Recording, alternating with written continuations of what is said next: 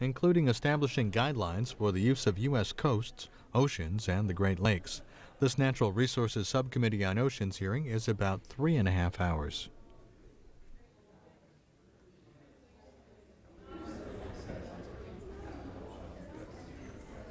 The legislative hearing by the Subcommittee on Fisheries, Wildlife, and Oceans will come to order.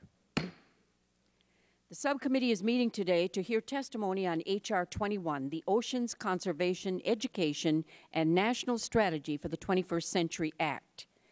Pursuant to Committee Rule 4G, the chairman and the ranking minority member will make opening statements. If any other members have statements, I invite you to submit them for the record. This morning's hearing will focus on H.R. 21, the Oceans Conservation, Education, and National Strategy for the 21st Century Act. This forward-looking legislation seeks to establish a comprehensive national ocean policy in the United States, improve federal agency coordination with respect to our ocean resources, encourage and support regional ocean governance, codify the functions of the National Oceanic and Atmospheric Administration in law, and establish an open trust fund to support improved conservation and management of our oceans. During a hearing that we held in March, this subcommittee heard about priorities for ocean policy reform in the United States from former Congressman, Director of the Office of Management and Budget, and White House Chief of Staff Leon Panetta, and former Secretary of Energy Admiral James Watkins, the chairs of the Pew Oceans Commission and the U.S. Commission on Ocean Policy, respectively. Determined to ensure that the recommendations of their two commissions do not simply collect dust on a shelf.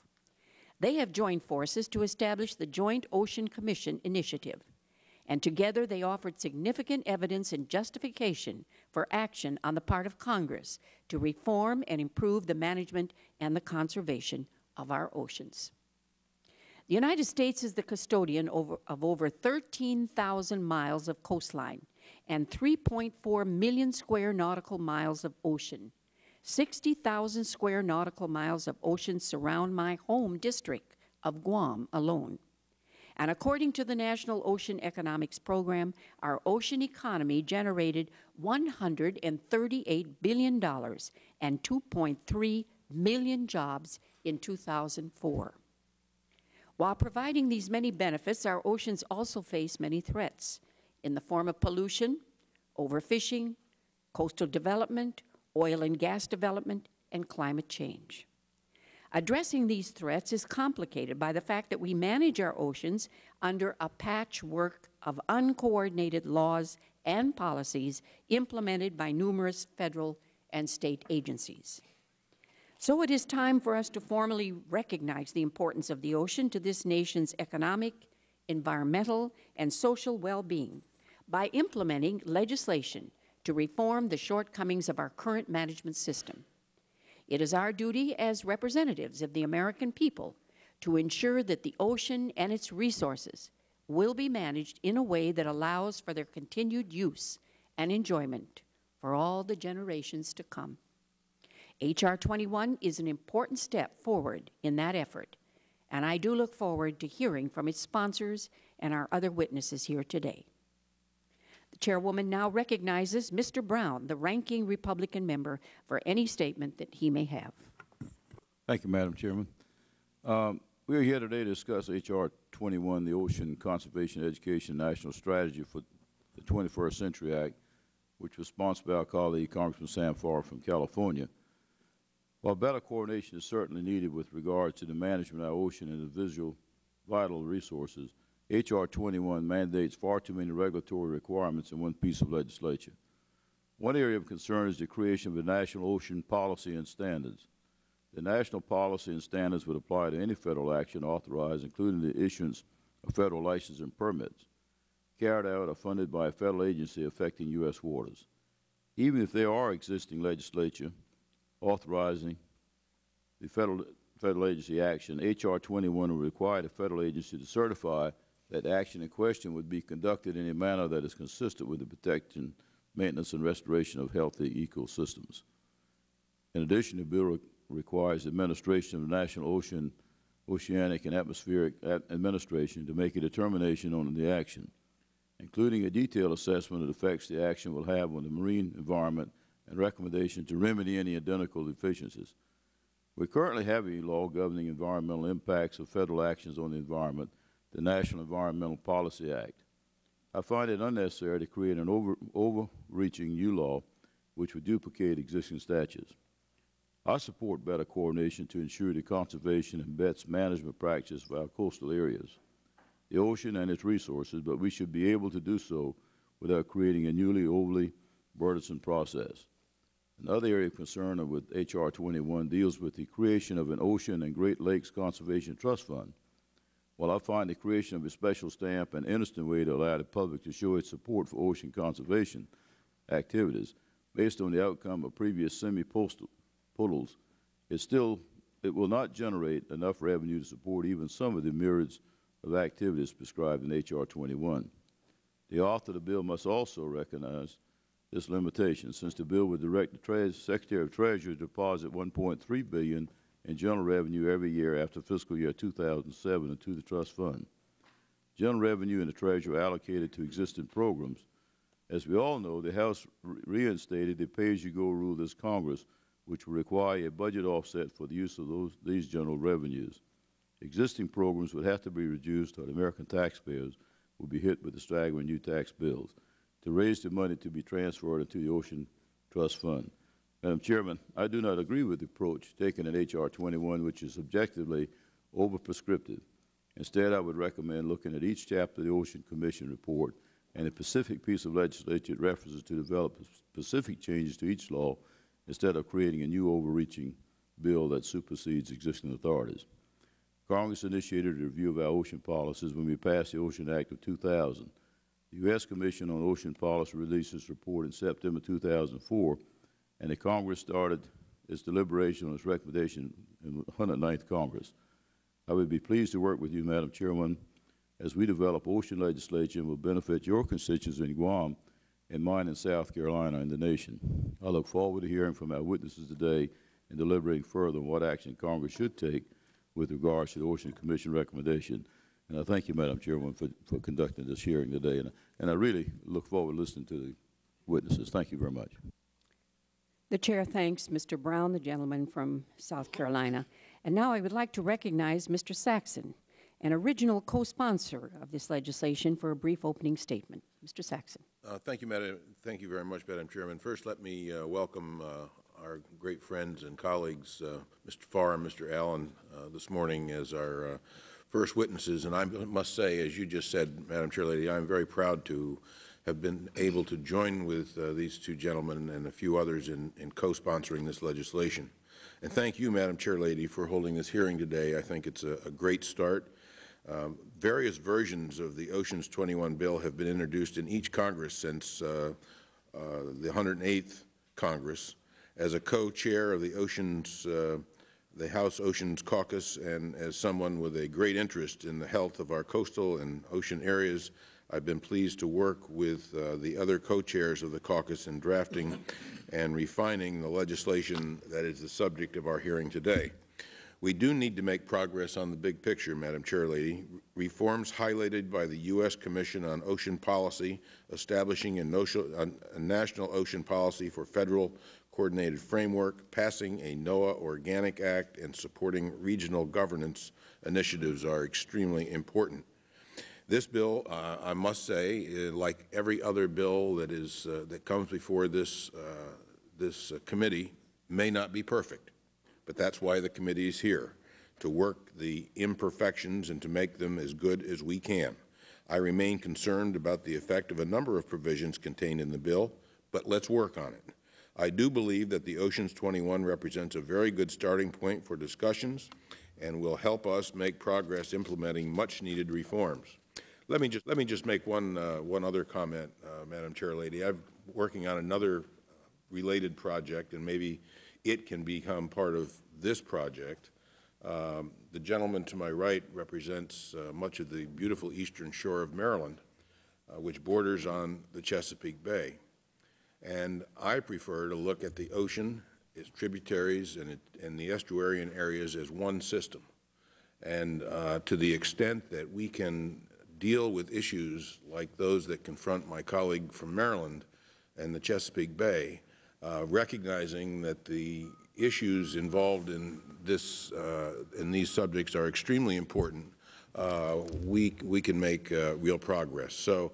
Uh, I look forward to uh, working with you, Madam Chair Lady, the other co-sponsors of, of, the bill, and with interested parties to bring this bill to the floor. I think it's high time we did so, and I hope that we can do it in a coordinated, amicable way. Thank you, Madam Chair Lady. Thank you, uh, Mr. Saxton. I would uh, now like to recognize our witnesses, and our first panel includes members uh, who have asked to testify on the legislation and includes the lead sponsors of the bill. But before I do that, I would like to welcome uh, the gentlelady from uh, California, Mrs. Capps, and also Mr. Uh, Wayne Gilchrist from the state of Maryland. And before I do that, I have one special guest in the audience. Um, I would like to take just a moment to recognize Sidoni Beckton. Sidoni is a senior of Georgetown Visitation High School. She is shadowing me today as part of a program sponsored by the Women's Caucus, the Women's Policy Incorporated, Girls Incorporated, and the National Capital Council of the Girl Scouts of the United States of America. Would you please stand, Ms. Beckton? Uh, Madam, Madam, may I do the same? Huh? I apologize to request going out of order, but I also have a daughter here today, and her name is Mickey, and she is a part of the Take Your Daughters to Work, and I want to thank our chairwoman for uh, acknowledging this wonderful program and the sponsoring organizations and the fact that we have two budding leaders in our um, audience should make our witnesses do even a better job of testifying today. it just further proves women's power. Now it is my uh, great distinction to be able to introduce the Honorable Sam Farr, Congressman from the 17th District of California, and the Honorable Tom Allen from the 1st District of the lovely state of Maine. Uh, the chairwoman now recognizes Congressman Farr to testify for five minutes. I am uh, delighted to be here with you and the committee and ranking member Mr. Brown as a representative of a team effort. There's two of us sitting at this table, and there's two members of the, this team sitting on the dais uh, who are all the co-sponsors of this bill. This bill that you're reviewing today started here in this committee in year 2000 with the creation of an Oceans Commission. For the same reasons that Mr. Brown talked about, is that there's sort of chaos in the sea. And what we were learning in Congress is that the oceans are dying and have been dying for, for years because we dump everything that we don't want on land into the oceans. And that's having a consequential effect. When you try to solve the problems, they become very complex because the United States government has created a multiplicity of agencies and jurisdictions, more so than in any other area. And when you think about it on land and in the air, we've created a governance system with the air traffic control so that we can at least have some coordination of what's going up into the air. And on land, we've created a national transportation program that integrates national, state, and local policy in road building. When it comes to the seas, it's just a chaos between the responsibilities of the federal government, the responsibilities of state government and local government, and, in, and many times conflicts that hurt the economic well-being uh, of, of those users of the sea. So how do you uh, put all this together? This committee along with the Senate, created a, a commission, which you mentioned that Admiral Watkins, not only a former head of naval operations, but um, Secretary of Energy, was the chair of. That, that bill was signed into law by President Clinton. The members of that commission were appointed by President Bush. That commission worked alongside of a private commission called the Pew Charitable Trust that had um, uh, the, the original chair was Christie Todd Whitman, former governor. Uh, she had to resign when she became uh, head of EPA. Uh, Leon Panetta, former Chief of Staff, took over and chaired it, and you've had the co-chairs of both of those commissions present their collective report. This bill is that product. And for all of us who are lawmakers, I have to say that I don't think in my lifetime I've ever seen a piece of legislation that has had more national scrutiny because these commissions held hearings all over the United States in, from all aspects and put together their collective interests in what they thought would address the concerns of having a national ocean policy. So we're very fortunate that a lot of that work that usually has to be done here uh, and, and has been done.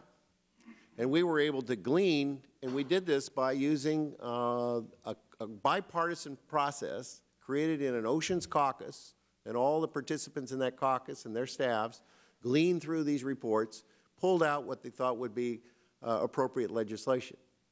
Now, we have what is not in this bill is the issues relating to fisheries. That's in the Magnuson Act, and our Congress updated uh, the reenactment of the Magnuson Act last year.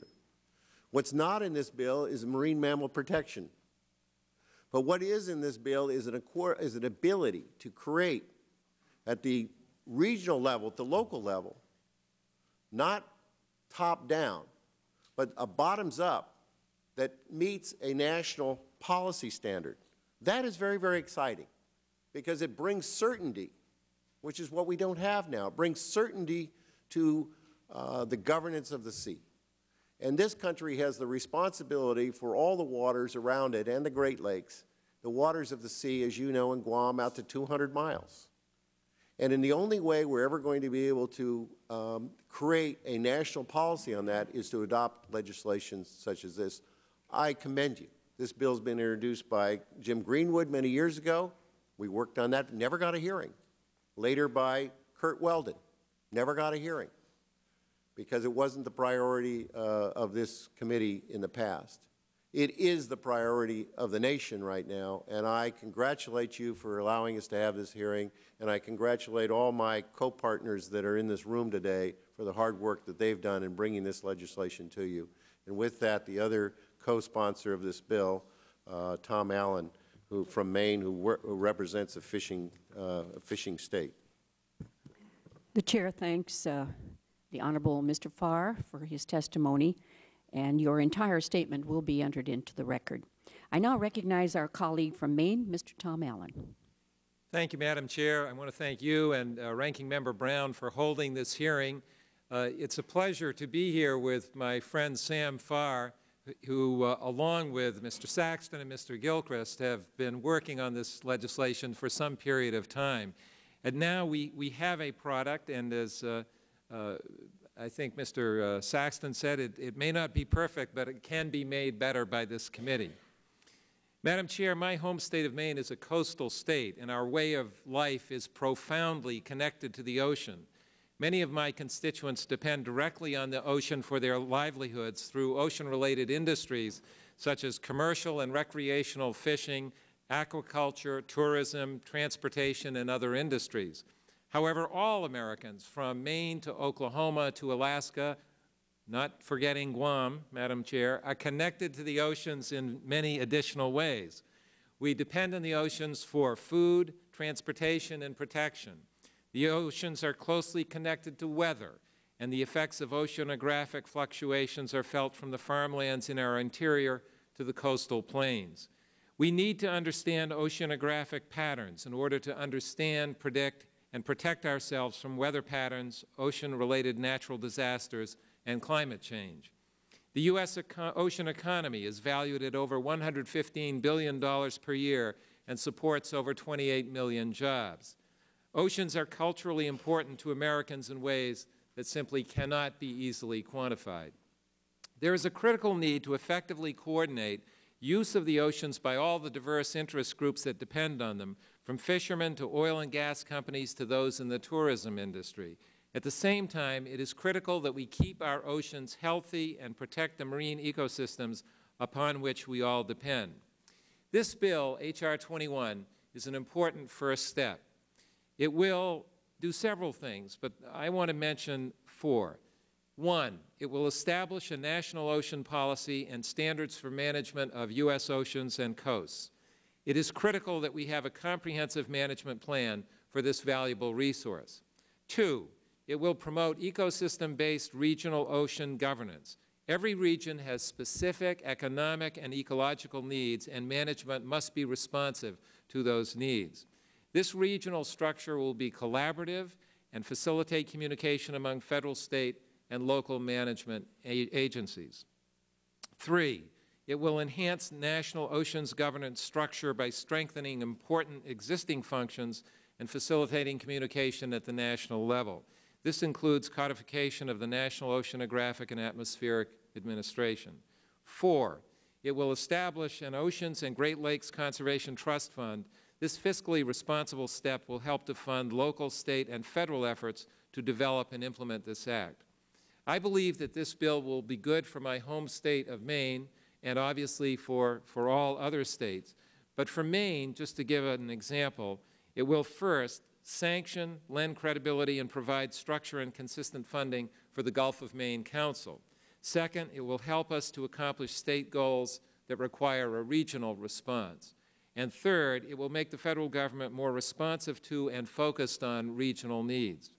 The bottom line is that cooperation and coordination are essential in order for us to protect our ocean resources and also for us to profit from them.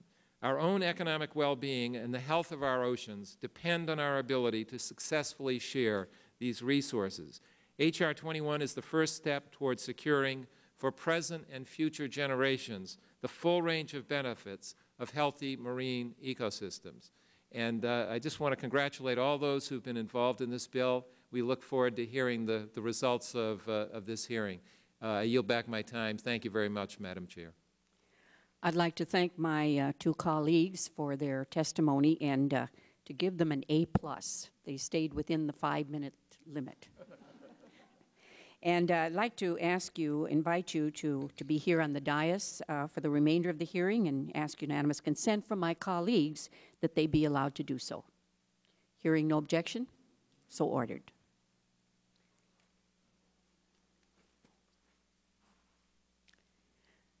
The chairwoman now recognizes our second panel of witnesses, and before that, I'd like to recognize the representative from my sister territory, American Samoa, the Honorable Eni Faleomavaega, who's joined us.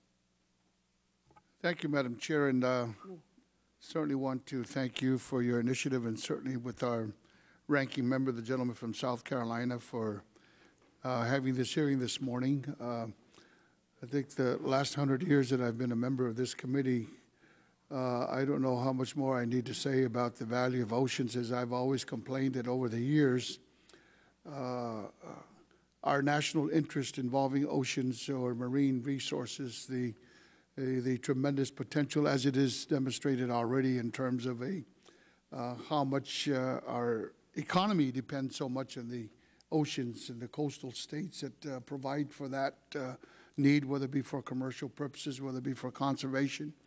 Uh, as you know, we both uh, live in the largest ocean in the world. Uh, you're in the northern Pacific, I'm in the South Pacific. Uh, my little jurisdiction is about 2,400 miles directly south of Hawaii. And uh, I seem to notice that there's a lot of question marks in some of the people there in the audience where in the world is this guy from? Um, but as I've said, Madam Chair, the uh, I've always said if it was possible for the Congress, and uh, if you want to know the priorities of our country, look at the budget. And I have the utmost respect to the fact that each year we allocate about a billion dollars for the needs of our land grant colleges and institutions because in those days, as, as it is true, the value of agriculture, uh, the mainstay and the, and the heart and soul of, of, of one of our economic bases. And my question is, why can't we provide the same kind of resources to develop and conserve what we have out there in the oceans. And uh, I think this is as a direct interest not only for all our coastal states, but those of us who live right in the middle of the ocean. Now, we've said that, uh, uh, that coral reef is the, is the farm, or I say the ocean is our farm. And so I, I uh, want to thank the good, uh, my good friend from California and uh, the gentleman from Maine for, for their sponsorship of this legislation. My only disappointment, Madam Chair, is that my name is not on it as an original co-sponsor of this legislation. As I totally agree with my good friend, Mr. Saxton, it is a good start. Uh, The only concern that I may have is that if we might be overlapping or duplicating some other aspects of other councils and other organizations that still deal also with marine resources, conservation of our oceans. And this is something that I think our subcommittee has to look at very carefully. Thank you, Madam Chair. Thank you. Thank you very much, uh, Mr. Falama And uh, the chair also welcomes another member to the committee, and that's Mr. Frank Pallone. And now, um, our witnesses on this second panel include Mr. Jack Dunnigan, Assistant Administrator for Ocean Services and Coastal Zone Management at the National Oceanic and Atmospheric Administration, and Ms. Kathleen Leyden, Chair of the Regional Ocean Governance Work Group for the Coastal State Organization and Director of the Maine Coastal Program. I would like now to recognize Mr. Dunnigan to testify for five minutes, and I would note for all witnesses that the red timing light on the table will indicate when your time has concluded, and we would appreciate your cooperation in complying with the limits that have been set, as we have many witnesses to hear from today. So be assured that your full written statement will be submitted for the hearing record. And now, Mr. Dunnigan.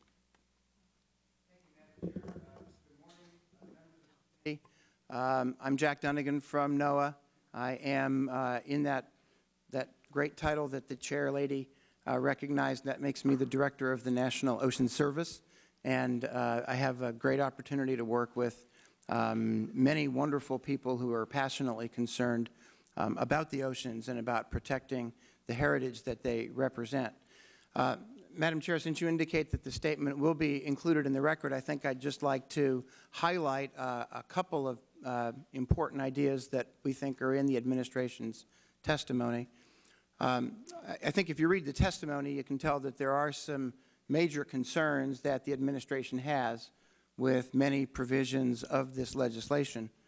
Uh, I think, however, you should not take that to indicate that we don't share um, much of the, of the passion and the goals that the sponsors of this legislation would like uh, to see us move towards. And from our standpoint, we would certainly look forward to continuing to have the opportunity to talk to the committee and talk to your staff about these important issues of uh, the oceans and the environmental and economic security uh, that they imply for our country. So we look forward to continuing to have those discussions. Um, over the past three years, the administration has been working to address many of the priority areas that are contained in H.R. 21 and that have been identified by the U.S. Commission on Ocean Policy, the Pew Oceans Commission, and the Joint Ocean Commission Initiative.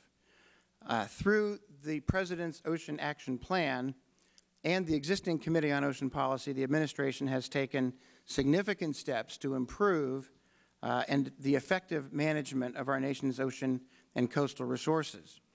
The administration has also supported strengthening NOAA and taking better steps to coordinate all of our programs regionally with a broad array of our partners.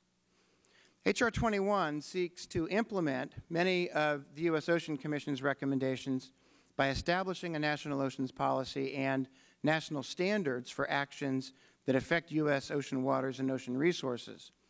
The concerns that we have with the approach as proposed in the bill as it currently stands um, are that it may actually create some conflicts with a vast array of legislation that uh, Congress has passed and that we already administer. Uh, Congress did a lot of work last year to get the Magnuson-Stevens Act reauthorized, and we're, we're, working very hard to implement that. Uh, we think that the, the best way to see these statutes get coordinated is for those parts of the agencies that have that responsibility to sit down and work these things out. We're not sure that the way the bill approaches it to establish a lot of structure around that is really the best way for us to go forward. Um, at the same time that the President released his Ocean Action Plan, which identifies many actions which are needed to more effectively manage ocean and coastal resources, NOAA was designated the lead uh, by the Council on Environmental Quality, or the co-lead, on 45 different items. And we've been working very hard under the Ocean Action Plan to address those items. As of today, 36 of them um, ha are, have been completed, and we are still working on nine. So there is very much that's ongoing uh, on the part of the administration in following up on the report of the U.S. Commission and on implementing the President's Oceans Action Plan. H.R. 21 would reestablish NOAA stipulating its mission and functions through an organic act. Uh, NOAA has long believed, and the administration has long believed, that there should be organic legislation for establishing NOAA. Uh, we had legislation that was proposed in the 109th Congress, and the administration will shortly be delivering legislation to you for the 110th Congress that will uh, do much the same as we propose. So we'd like to make sure we have the opportunity to discuss those issues when that bill is available from the administration. Uh, this bill would do a lot for regional collaboration. You should know that NOAA has been spending uh, tremendous efforts to help support the Gulf of Mexico Alliance, uh, the Governor's Initiative in the Northeast, uh, the Three Governors Initiative in, uh, along the West Coast, California, Washington, and Oregon. Uh, we think there's a lot of energy that is in the system that is really percolated up from the bottom that is giving us an opportunity uh, to move forward in the same direction that the bill would like to take us. Madam Chair, the last point that I'll make here in my oral testimony um, has to do with an integrated ocean observing system, which is referred to in the legislation. Uh, it's long been a priority of NOAA and of the administration uh, to integrate our ocean observing systems and have agencies working more collaboratively with each other, with stakeholders, with regional partners, uh, in order to make better use of the data that's available and to fill gaps. And uh, we appreciate the opportunity to work with you and with your staff on legislation that can get that done. Thank, Thank you, uh, Mr. Dunnigan. And now the chair would like to recognize uh, Ms. Leyden. Ranking Member Brown, and distinguished members of the subcommittee, my name is Kathleen Leyden, and I'm here today representing the Coastal States Organization. CSO, as Coastal States Organization is known, represents the 35 states and territories in Washington, D.C., relative to issues of ocean policy and legislation that affects the coast. With my written testimony in the record, um, and this being the first time that I'm doing this, I'm going to pray that I meet the five-minute mark and therefore just focus on a few things.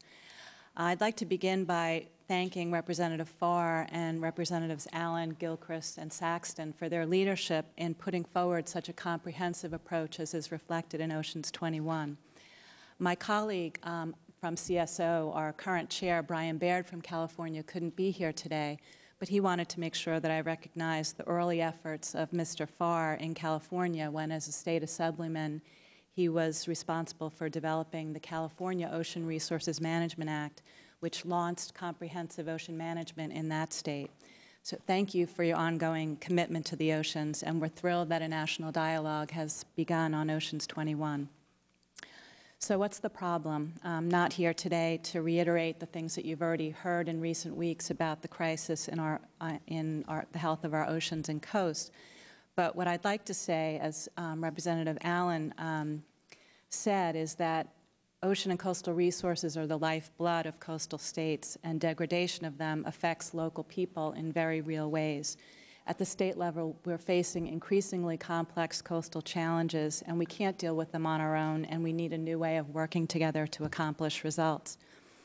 If I had to choose three, three phrases to describe our current ocean management regime, I would choose fragmented, reactive, and largely lacking an opportunity for real cooperative management between federal, state, and local entities in um, effectively managing resources. So what's the solution? Um, if the states were to design a solution ourselves, I think that um, I know that we agree that the components as reflected in Oceans 21 are the key things. That is a structure for regional ocean governance, a statement of national ocean policy, improved coordination of federal action, a coordinated management regime for federal waters, and a much-needed ocean and coastal trust fund. These types of things really lay the groundwork for us to begin to actually do um, ecosystem-based management, which we talk about a lot, um, but need to really um, advance our efforts in. Our concerns about Oceans 21 track two general themes that we think are solvable through additional conversations, and those are the need for flexibility and the need um, to build on work that's already being done. CSO remains committed to working with the bill's sponsors and other interested parties over the coming months to resolve the differences. First, the regional ocean governance um, piece of the bill. The coastal states have been working together um, through the committee, the work group that I chair, to develop a proposal for regional ocean governance legislation. And this work is grounded in um, a policy statement that the National Governors Association put forward in 2007, which is attached to my written testimony.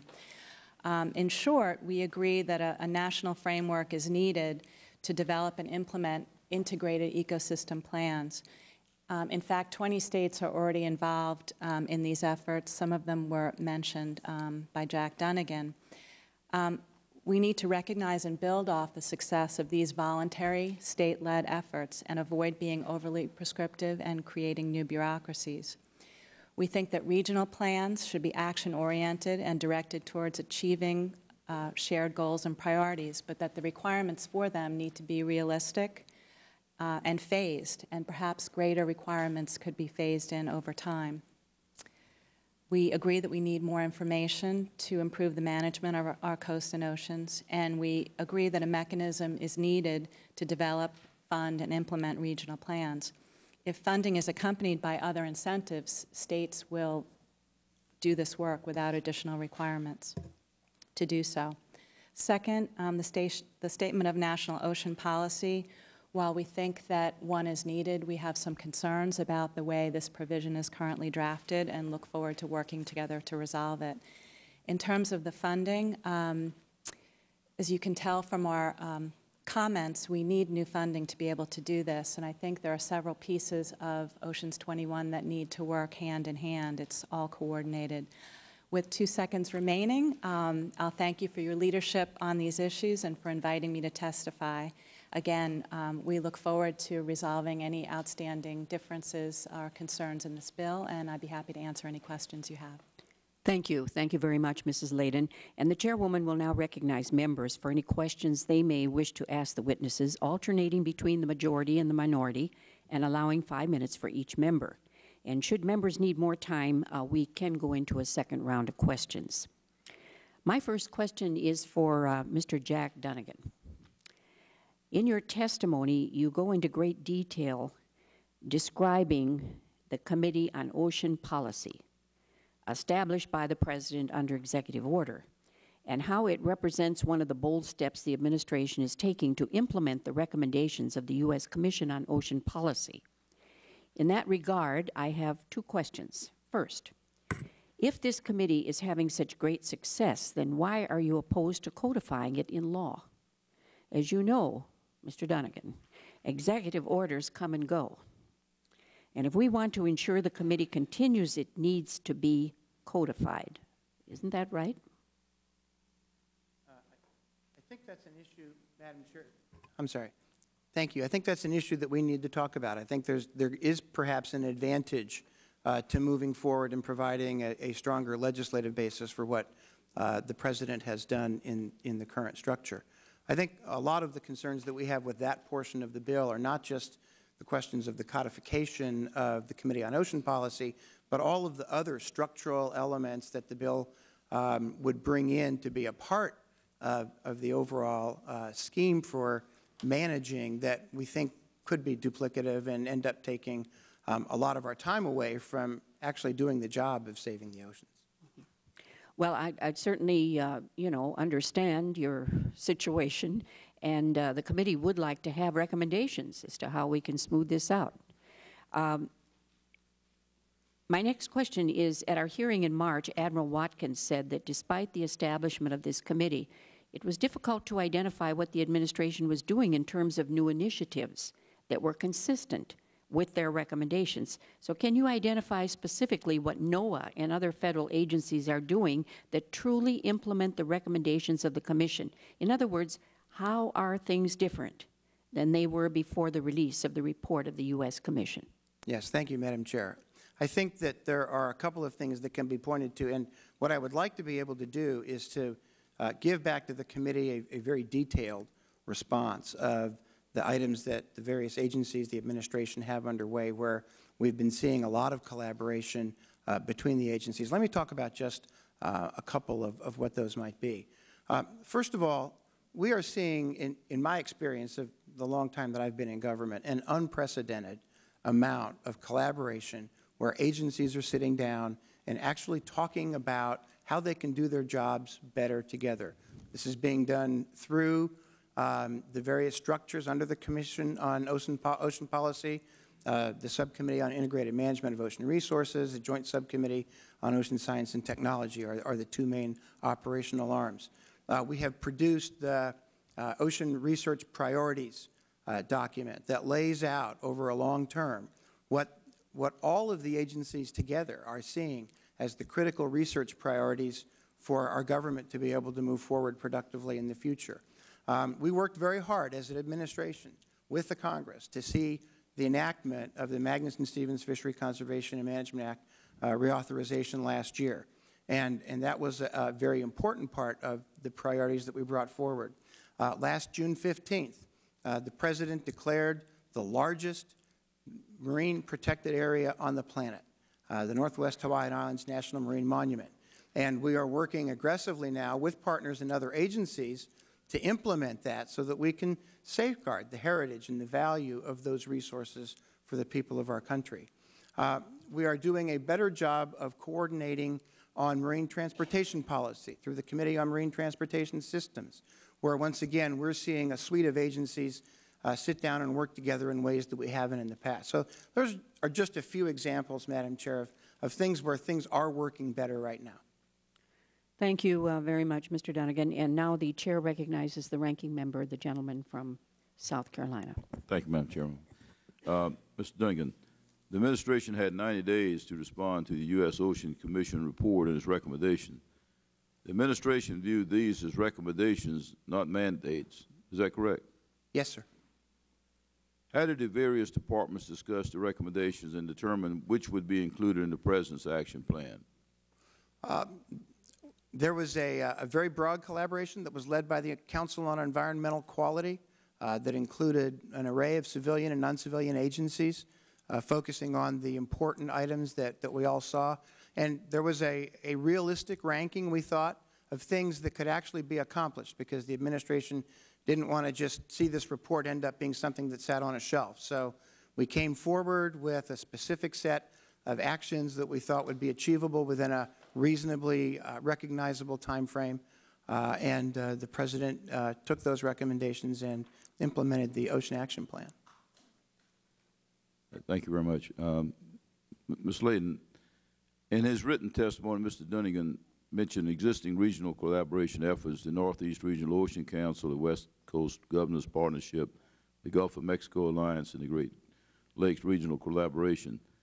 You have been involved in the Northeast Regional Council. Was it developed voluntarily and has it worked well and would the state support the continuation of these type of cooperative efforts? Yes, the Northeast Regional Ocean Council was developed voluntarily through the efforts of Rhode Island Governor Carcieri, um, who uh, really corralled the region's governors and made it an agenda item that was um, considered at the New England Governors Conference. We're just getting off the ground. We've identified four key priority areas.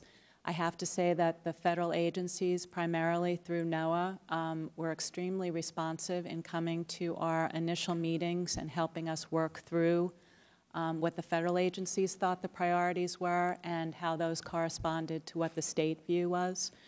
Um, we're having our first Oceans Congress um, May 24th bringing together people around the issues of coastal hazards, maritime security, ecosystem health, and energy.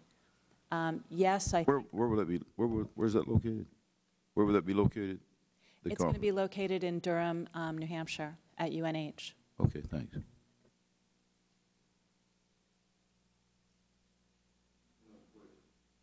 One other question. I, I have concerns with the creation of the Ocean Trust Fund and its budget implications. Your comments regarding the need to retain flexibility to fund programs priorities was important. However, the President hasn't asked for full funding for many ocean programs, leaving ocean programs as a lower priority. Without dedicated funding, how will the agency and the administration work towards getting more funding for ocean programs? Would you like me to respond, sir? Pardon? I, um, this is an issue that comes up uh, continually to Congress in a wide variety of, of circumstances. Ocean funding is, is what we have in front of us today. Uh, we're concerned that uh, we, we establish a system that takes flexibility away from the President and the Congress to be able to address priorities um, as you have to face them every year and as they change. And when you, when you get into a system where you have dedicated funding um, that is not run through the budget process, uh, to that extent, the President and the Congress are losing their flexibility to be able to deal with, uh, with problems as they arise, and that is typically why um, many administrations over the years have tended not to like the kinds of proposals that, uh, that are included in the bill. Uh, I would point out, though, that the administration's, the President's budget for uh, fiscal 08 uh, includes significant new funding for uh, the oceans that hasn't been in the President's budget before. And we think that this came about as a result of all of the activity of the U.S. Commission and uh, following up on the Ocean Action Plan. And uh, we would strongly hope that Congress would be able to provide that funding uh, that's in the President's budget. Uh, Thank you, Madam Chair, and I'll- I'll yield back balance my time. Thank you very much, uh, Ranking Member uh, Mr. Brown. And now the chair recognizes Mr. Faleomavaega from American Samoa. Thank you, Madam Chair, and I want to thank Mr. Duncan and uh, Ms. Leyden for their uh, fine testimonies this morning. I had indicated earlier in my opening statement about the concern of duplication, uh, overlappings, uh, the complication. Now, you know, we only have 280 federal agencies here in Washington, D.C., with some 220,000 people working under these 280 agencies already in existence. Now, I realize that you'd indicated, Mr. Duncan, uh, you've got to give the President the administration some sense of flexibility, but sometimes also flexibility could also be to the point where we get nothing done. Uh, and this is the reason and the purpose why we pass legislation to make sure that we're on target, that we know exactly what the policy is. And I'm sure you'll agree with me, uh, ocean can sometimes be abstract in form. When you talk about three miles out in the ocean, we have a different set of laws for that problem. If you talk about 12 miles out in, from the, in the ocean, it's another set of laws. And then when you talk about 200 miles, that's what you call an economic exclusive zone that an entirely different body of law also has to be figured into this whole process. So if I wanted to ask you, what do you talk about, what do you mean by ocean? I know what the Pacific Ocean because I live in the middle of it, but, uh, and I can appreciate all our coastal states around the United States.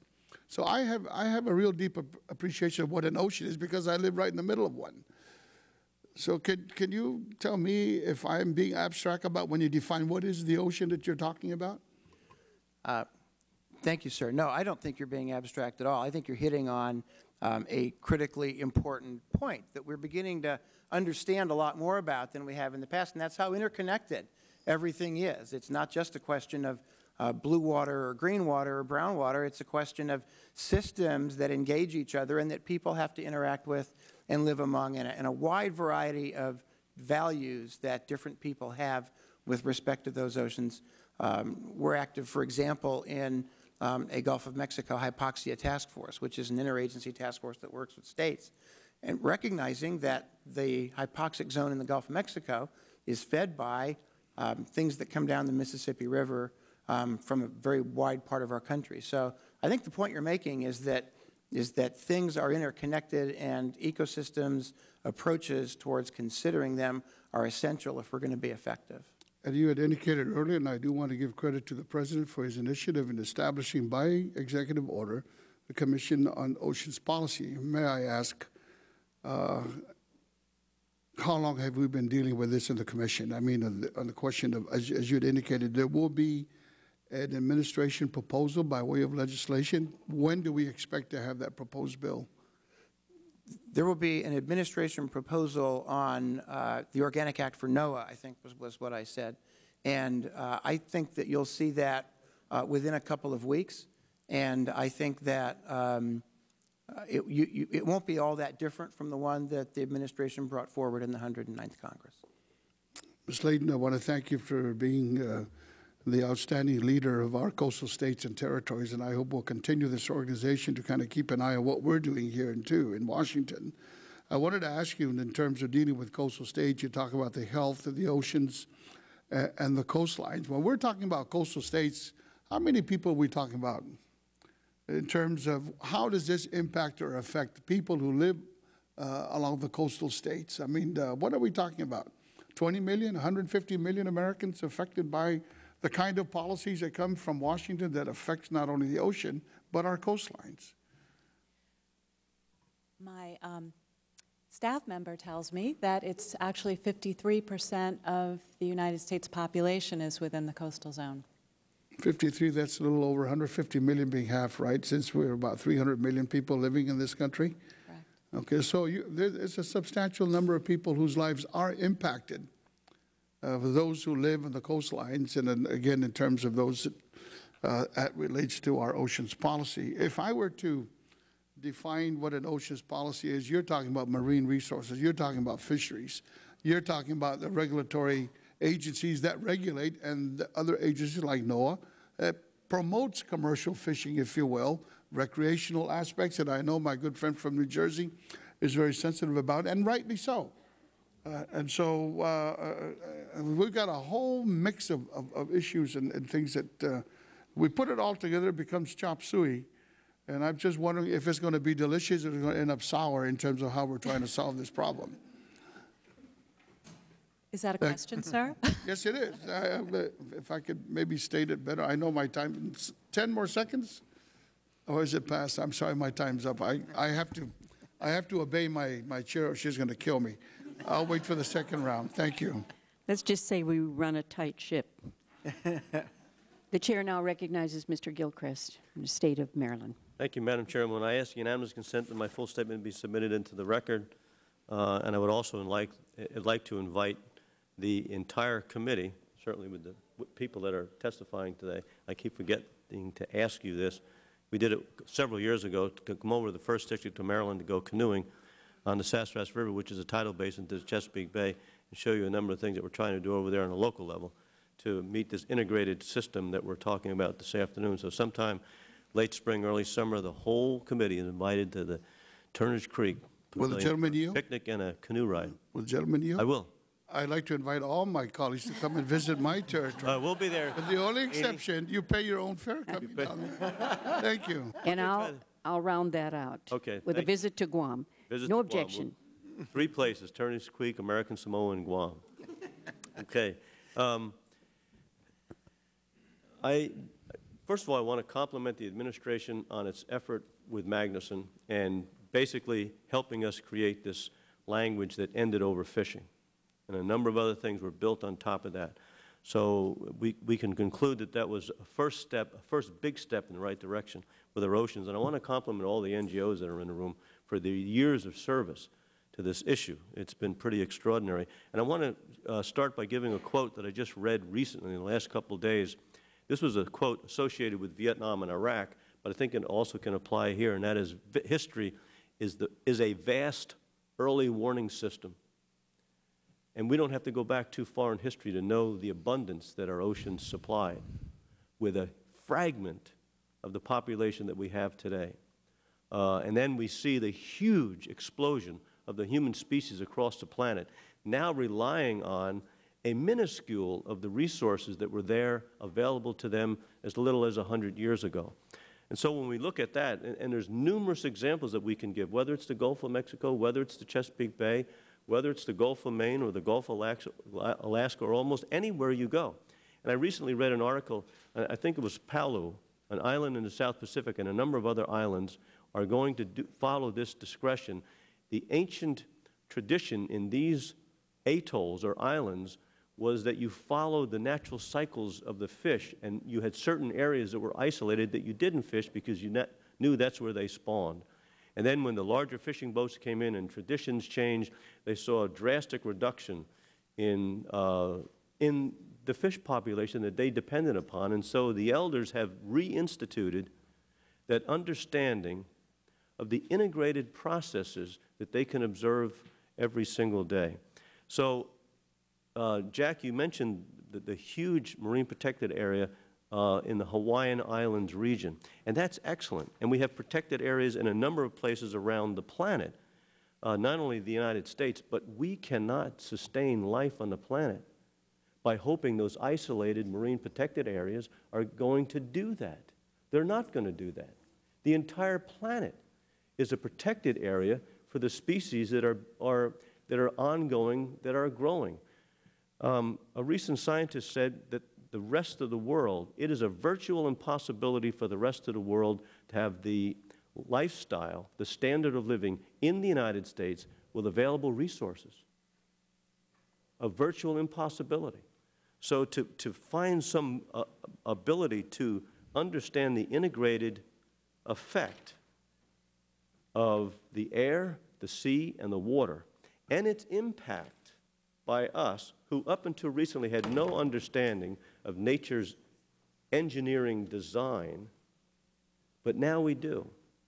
And so what, what I would like to continue, which is what both of you are suggesting, that we have Oceans 21, a bill, that reflects the two uh, public and private commissions about the need to look at the big picture, the ocean, the atmosphere, the land, how human activity degrades and is not compatible with nature's design, the big picture, not fragmentations in various committees or various agencies, but the big picture, and then for all of us to work together to create that structure that is um, reflective of the big picture. People assume, my constituents, constituents around the country assume that the government is competent. Now, we know that we would like the government to be competent, but we know all of the other various issues that enter the interplay of when we do our work, from various interest groups, whether they want the whole world to be a marine protected area or whether they want the whole world to be a, a facility where we can extract resources for the immediate present and not the overall future. So, Jack, you mentioned um, 46 action items, of which most of them are, are done. Oh, I'm done. Okay.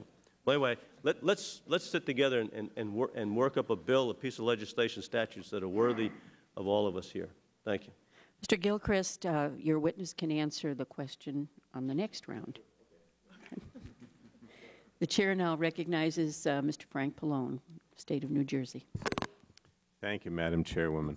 I wanted to uh, start out by saying that I, um, you know, I commend Mr. Farr and Mr. Allen for following up on the recommendations of the Pew Commission and the U.S. Commission on Ocean Policy in, in putting together this Oceans 21 legislation, which I do think is a good bill. And I, this idea of setting a national ocean policy to protect our marine ecosystems and resources is critical. And we also need to pass the NOAA Organic Act, which I understand is also incorporated in this. I think it's, uh, we need to find ways to increase coordination amongst the myriad agencies that address ocean and coastal issues because too often those agencies are making decisions in a vacuum without considering the complexity of ocean systems. My questions, though, relate to fisheries management because I, I mentioned to uh, Congressman Farr before that in my district, and I suppose nationally, but I only speak for my district, a lot of the recreational fishermen are concerned and saying that this is going to have a major impact and create an, a huge bureaucracy and make it more difficult to make fisheries management decisions. And I don't know if that's true. I mean, it may very well be that there's very little impact on fisheries here. Um, but let me just give you an example. Um, for example, and, and I'll ask uh, uh, the gentleman, Mr. Dunnigan from NOAA, these questions. Um, in, the, in Section 101 of the bill, it sets a national ocean policy and requires that Federal agencies approve certain actions only if they will not significantly impact the health or restoration of marine ecosystems. Now, what I'm getting from the fishermen are statements like this. Um, this that this provision would basically mire fisheries management officials in new requirements and mandates that would make it difficult for the industry, hurt the commercial sector, make it less competitive, uh, you know, create a whole level of new bureaucracy. And they use an example, for example, of, you know, would you be able to approve a quota for fishing, uh, um, you know, with a species that's not currently at maximum sustainable yield? Um, Here, you give you an example right here. They say the National Marine Fisheries Service and the Mid-Atlantic Council could not set a minimum size on fluke or allow a limited harvest of spiny dogfish, you know, because of that. Do you see it impacting that in any way? I mean, you know, uh, Congressman Farr tells me that's not the case, so I don't want to get into it. I'm not trying to relate it to him. I'm just asking your opinion. Um, Thank you, sir. Uh, I'm, I'm trying not to do fisheries these days, but every once in a while, Well, I'm maybe we could back all- into it. Um, I, I think that the point you're making, Congressman, is one of the ones that, that causes us to have some concerns about the language of the legislation.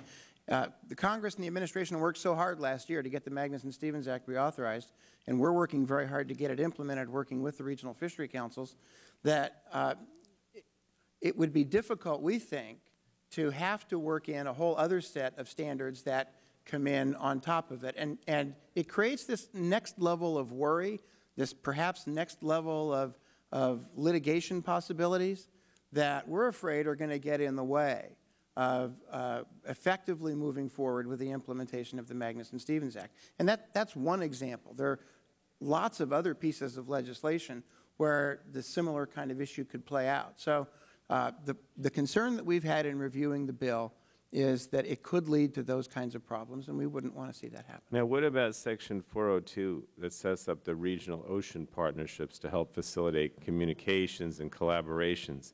I mean, would they have any decision-making authority over fisheries management? Would they be able to step in and prevent a permitting decision, in your opinion? Uh, I'm not sure how it would play out, sir. I You think got our, the our Committee on Ocean Policy, too. These Right. are all different, you know. Our, you know, our view is that fisheries ought to be managed through the council process, and we want to be able to support that. Uh, it, it's a difficult job, as you know, and, and they require uh, the resources and the attention that they could get. So I think, you know, we, while the idea of having a national ocean policy is one thing uh, that we should talk Well, about. let me just the ask you question this, because I, I know the time is problem. gone. You would probably suggest that we do some changes to avoid the possibility that these fishery management's decision would be impacted. I think we would want to have the chance to talk to you about that, yes, sir. All right, that's all I'm asking at this point. Thank you. Chair thanks the gentleman, and now I'd like to recognize uh, Mr. Saxton from New Jersey. Um, Thank you, Madam Chair Lady. I, uh, I have some questions which I would like to submit to uh, this panel uh, in writing for their answers, but I'd like to pursue the, the uh, subject and perhaps invite Mr. Farr to uh, express his um, views on this as well during my time. But it seems to me that there ought to be a way that, I mean, that's what this committee is for, to, to, to finalize language or to improve language. And uh, we all worked together last year on Magnuson, trying to, trying to develop an act, a law that would work to help conserve fish and at the same time um, uh, make sure the door stays open for uh, harvest of, uh, of seafood, both recreational and commercial. And the last thing that, I'll tell you what, after Mr. Gilchrest and I and others went through, my knuckles are still healing up from that, from that fight. Uh, And uh, I want to make sure Magnuson continues to go forward and work. And so uh, let's work together to, uh, to see if we can't solve some of these uh, problems. If, if in fact the people who are bringing up these fact, these problems have a real problem, then we ought to fix it. We shouldn't, we shouldn't do something to emasculate what we did just last year. Let me yield to Mr. Farr. Thank you very much for yielding, Mr. Saxton. Let me point out that um, the, there is, the next panel has a fisherman on it, Zeke Grader. and I've worked with Zig for 25 years. One of the things that what we've, what we've seen is that fishery councils only have the authority to deal with fish, fisheries. So what happens is if you have a, uh, any threat, they cut the quota because I don't have any other ability to deal with other factors that are that are unrel- that may be uh, re- related to, but not a, in the fishery itself. That's why they're here to testify that we need a much broader policy and a coordination. In addition to that, the legislation, and you had a lot to do with this, you put in the bill that nothing in this act shall be construed to supersede or diminish the authority of responsibility under any other provision of law of any federal agency or state or political subdivision thereof to establish or implement more stringent requirements to conserve the ocean resources. So that still leaves it up to uh, local, um, local management and existing laws to do that.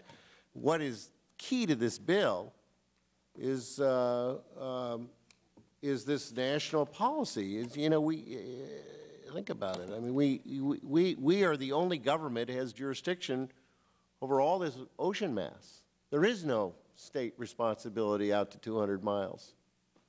Uh, and if we are going to if we're going to try to get a, a, reduce this sort of conflict issue, which is what everybody's into, you've got to have a governance structure.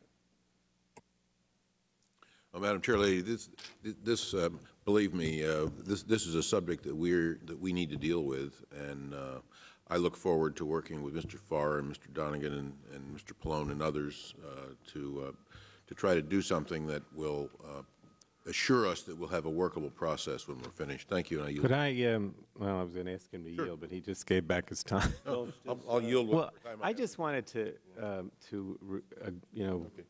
Indicate that I totally agree with what uh, Mr. Saxton said, and I, I did talk to, uh, to Congressman Farr briefly, and, you know, I know that it's not the intention uh, here to, you know, change the fisheries management system. Um, but I also think it's necessary for us to sit down and to address it because we literally are, you know, getting, uh, you know, all kinds of attacks directly on the legislation, so we need to address it. But I, I understand that that's, you know, after talking to, to, to Congressman Farr, that there's no intention here to, you know, change the way the councils act or the way the fisheries management agencies proceed at this point. So I think that's significant, but I still think we need to talk about it a little more. Thank you. Thank you uh, very much. Uh, Will the gentleman Mr. yield if he has 15 seconds? I think part of what uh, Sam is talking about with ocean governance um, is what was, has been mentioned a couple of times about lo what's local responsibility and what's local opportunity. Ocean governance has a way of pulling in uh, people to have some sense of obligation and responsibility and an opportunity to recognize the, uh, the ocean issues from an ecosystem perspective. Everything impacts the ocean. If, if you look at oysters, uh, it, it's not only that it, they were over-harvested in the Chesapeake Bay, 99 percent of them gone compared to what it was 100 years ago, but it's also all the human activity and all the soil runoff and all the other degradation activities that have caused the oysters to drop down. So I think what we're doing in this bill is to deal with it in a, in a holistic approach. Thank you. Thank you. Thank you very much. Uh, the Chair uh, wishes to ask Mr. Saxton, did you have some questions you wanted to submit for the record? Was that, yes, with no objection. And now the chair recognizes uh, Ms. Capps from the state of California. Thank you, Madam Chair. And, and, I haven't had a chance to formally thank you for holding this hearing and uh, particularly appreciated uh, the first panel, um, one of whom is sitting next to me.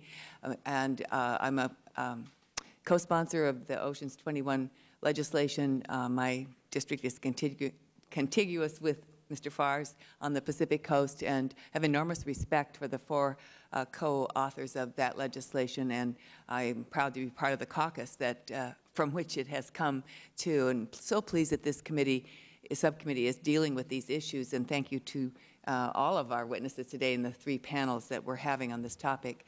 Um, Ms. Leyden, I'd like to start with you, and actually my questions to you uh, are part of the context of the conversation we've been having already, but I want to frame it in a, just a little different way. I'm hesitant to release it into a conversation because I also want, I, I want to ask a, a, question of our other witness. But you mentioned in your testimony several incentives other than just money to encourage state participation in regional governance. That's what we're talking about today, right now. One is a joint approach to the siting of energy projects and other emerging uses of the ocean. I'm, i have a particular interest in uh, your, uh, you know, fleshing this discussion out a bit on how this might work. Um, we had a discussion on this topic earlier this week at a hearing on renewables uh, on the OCS, and I immediately think of the CZMA and how important it was, is, and I hope will still be, and because it has let California have a say in whether or not new drilling would be allowed off our coast. We've had experience with this, and if so, under what conditions. You know, just recently, our Coastal Commission used this very law to reject a proposed LNG terminal uh, in my area that would have polluted our air and water. So my questions, I have two questions for you, and then I do want to go to the, our, our other uh, uh, witness too. Would the states want the responsibility for planning the siting of such projects in federal waters off their coast, and how would it fit with uh, federal uh, responsibilities?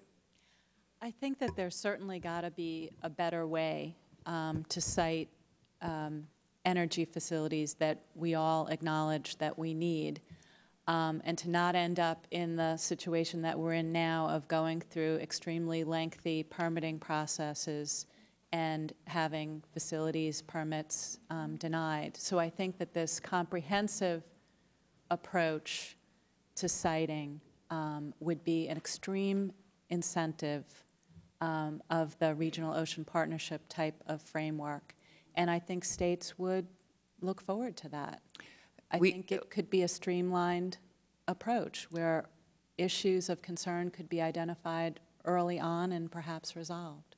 We had this, such strong impression locally during this uh, recent application and, and the vote of the, of the Coastal Commission that the role of the Coastal Zone Management Act was so key in allowing uh, local communities, which after all are the most directly affected by any federal policy or decision uh, to do to affect uh, even within federal waters uh, the both the, the state's jurisdiction and the local communities and that I, I- think the streamlining is uh, affected in a positive way by having all of those uh, players, stakeholders, if you will, at the table. Um, that, now, it seems like from the administration, um, I'll let you answer that briefly, but and go to Mr. Dunnigan, that uh, we have all the coordination and partnership that, that we need. Uh, do you agree? that we have the partnership and coordination that we need. I think that um, it's more uh, creating a formalized framework around it and a system to get additional resources into the partnerships. I think the question was mentioned, I think it was by, um, raised by Mr. Brown about the voluntary nature and would these efforts continue. I think they're subject to the whim and the energy of the states right now. And Right. the beauty of formalizing them is to get additional resources towards them. And so we're all meeting a common Right. mark of achievement. And that is, the that goes, harks back to the importance of the federal role in making sure that this is, this is done. Uh, I know, I see the yellow light, and I, Mr. Dunnigan, I want to ask for your written reply because I just want to highlight a very important part of, of um, the, the education budget through NOAA, um, because we have this BWET program i- in my uh, district, um, which is proven to be such a valuable piece, and I want to make sure that the, uh, I want to see how you respond to the president's budget signaling education a- as a priority. In what ways can we guarantee that that's going to stay a priority uh, through your administration? If there's a second for him to respond now, and he can send me more in writing.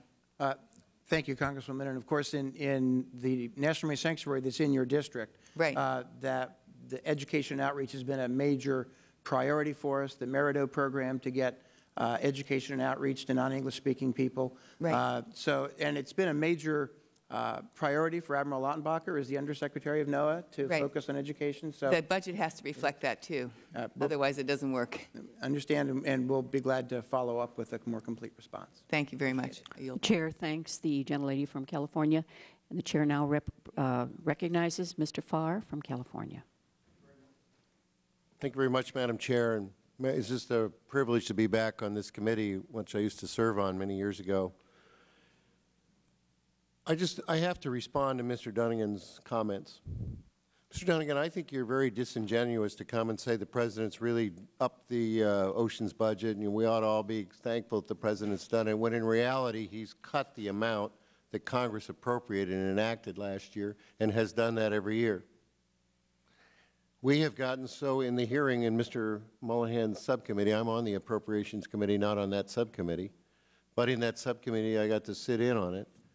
And the, after hearing from Dr., uh, Admiral Lautenbacher about what NOAA's up to and looking at their budget, which is the, it's not only the oceans, it's also the atmosphere administration.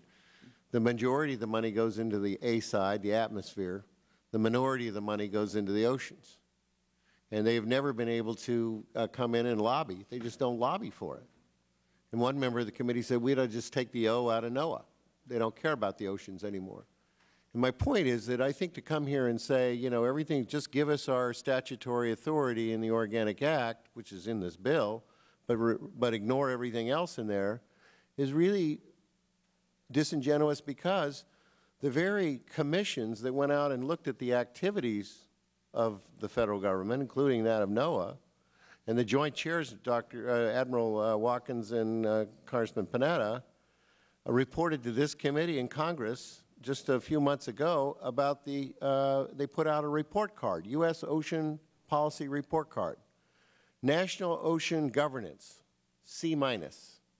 Regional and state oceans governance, an A minus. Regional and state, that's not NOAA. International leadership, NOAA ought to be part of that, D minus. Research, science, and education, D plus. Fisheries management reform, primarily because of the work of Mr. Gilchrest and Saxton, who led that effort last year, a B, B plus because of the passage of the Magnuson Act. And here's the last one, which is so key to it, that we wouldn't need this bill if indeed we had enough money to carry out the responsibilities of all and, and develop this interaction. We never have because NOAA has not done it. New funding for ocean policy and programs, which this bill is about and which Mr. Brown talked about, an F, an F. So that, I mean, that report card explains why we're here today and why we need to have uh, a national ocean policy to bring all these things in a coordinated fashion. And uh, I'm, I'm just, um, you know, I, I guess what I'm so upset about is we've worked so hard on this bill. There isn't an advocate in the Appropriations Committee that works harder to get money for the O in NOAA. And today you come and bite the hand that feeds you. Thank you. Uh, thank the gentleman from uh, California. he uh, took away my uh, subject matter. I was going to read the report card, but I just want to ask Mr. Dunnigan, you, you mentioned earlier in your testimony that the funding was up to par. Uh, isn't the 08 budget request actually lower than the 07 appropriated level? Well, uh, Did Madam you say Chair, yes? the overall levels of funding that the country can make available for all kinds of programs are decisions that you get to make, and Mr. Farr, as a member of the Appropriations Committee, I know understands these things completely. Um, and uh, it's limited funding. I think what's important to recognize is that for, for what the administration has proposed in the past, there has been tr tremendous movement in this bill, this appropriation request for 08, in some very important areas for oceans and for ocean research. Uh, and it's not just NOAA. There are other agencies that are, are participating in this as well. So um, is, is, it the, is it the perfect answer at the end? Uh, that's a question that, that y'all are going to get an opportunity to work out through your appropriation Yeah, processes Mr. over the Mr. next couple Dunnigan, of uh, months. just an answer to my question, though. Mhm. Isn't the uh, budget request for 08 lower than the 07 appropriation? Uh, for, for For the NOAA. specific areas that we're NOAA, in? NOAA. oh, For, for NOAA? That, no, that's true. Thank you. Thank you very much. The chair now recognizes the uh, ranking member, Mr. Brown. Uh, thank, thank you, Madam Chair. And uh, let me continue that, those same questions. So the bill appears to require a new level of approval and the requirement that any new ocean activities meet a new set of standards. How will this affect offshore aquaculture? And would individual permits be likely to face litigation if those opposed to aquaculture wanted to block new permits? Uh, I don't think we have a clear answer to that question yet, sir. The administration's uh, aquaculture bill, which uh, the Secretary has signaled as a high priority for the Department and for the administration, is going through its final steps of interagency clearance right now, and we'll have that um, you know, to bring up to Congress in the very near future. And I think we'll have a better opportunity at that point to look specifically at the questions relating to aquaculture. And I might ask uh, Mr. Farr uh, this question, um, you might know it too. Wh- What would be the fiscal impact on the um, receipts of the new um, permits or license? Uh, How much would the- that generate in this bill?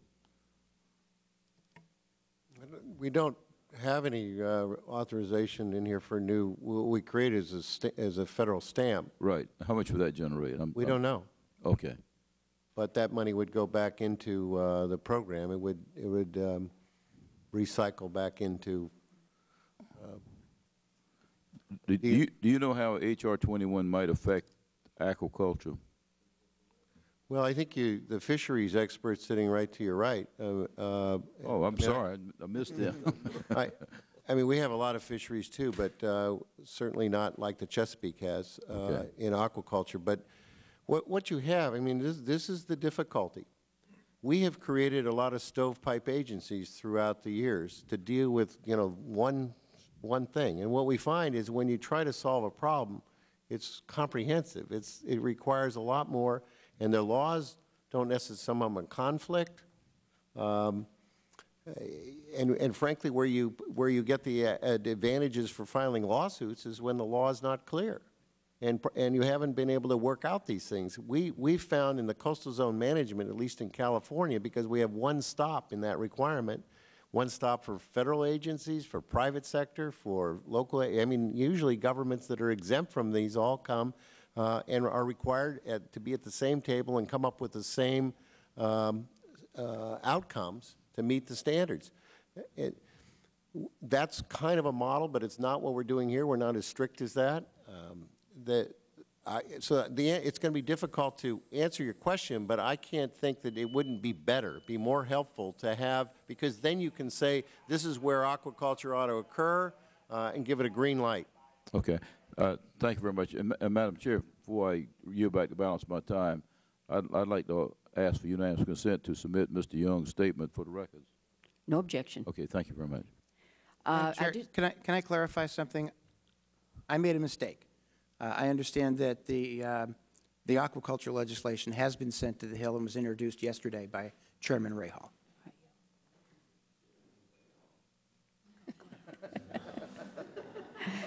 Thank you. Thank you uh, very much, uh, Mr. Brown. Uh, I just want to announce to the uh, panel here and to the uh, witnesses that are coming up on the second panel, we have three votes. Uh, So if the members, uh, I will, uh, I think we have Committee of the Whole, we have one vote. Is that correct? So I will recess for about Our symbolic vote, if you will. Yes, our symbolic vote, for about 15 minutes, and excuse and thank the witnesses of the first panel, and we will then begin after the 15-minute recess with the second panel. And I wish to thank you all. Madam Chair, I, can I just ask one or two questions to Mr. Dunnigan, because I, I, I- if it's all right with you? I think, right, but everybody else is excused. Oh, Mr. Kennedy, too, I'm sorry. Yes, I'd like to recognize Mr. Kennedy from Rhode Island. Mr. Kennedy, would you like to uh, ask Yes. a question? Um, If I could uh, ask uh, Ms. uh, Leyden, uh, if you would, um, in terms of uh, regional need for accountability measures, uh, um, we're seeing in my state the um, uh, adoption of kind of the the national standards in the Magnuson in terms of um, the ocean governance for fish species and lobstering, privatization basically of, of, um, uh, of, the, of those fishing permits, you know. Um, and it's leading so that you have to sell your rights to your uh, licenses to, to fish, so that the only people who are fishing are people who can purchase the, the licenses. So we're now having uh, our commons, which are our oceans. It's our commons. It's the people. I mean, it's the oceans. It's public. Is is the only people who get rights to that are the people who have the highest bid. Um, you know, what can we do to? Um, I mean, I, I know we have to protect our oceans, but I mean, and, and I know this bill is going to be doing a lot to try to develop policy in that area, but maybe you could give us some guidance as to what your opinions are on this difficult issue. I know it's been debated a million times, but Well, I think that the, the beauty of Oceans 21 is that it's not focused on any one sector, like fishing, and doesn't attempt to change fisheries regulation. We've talked about that quite a bit.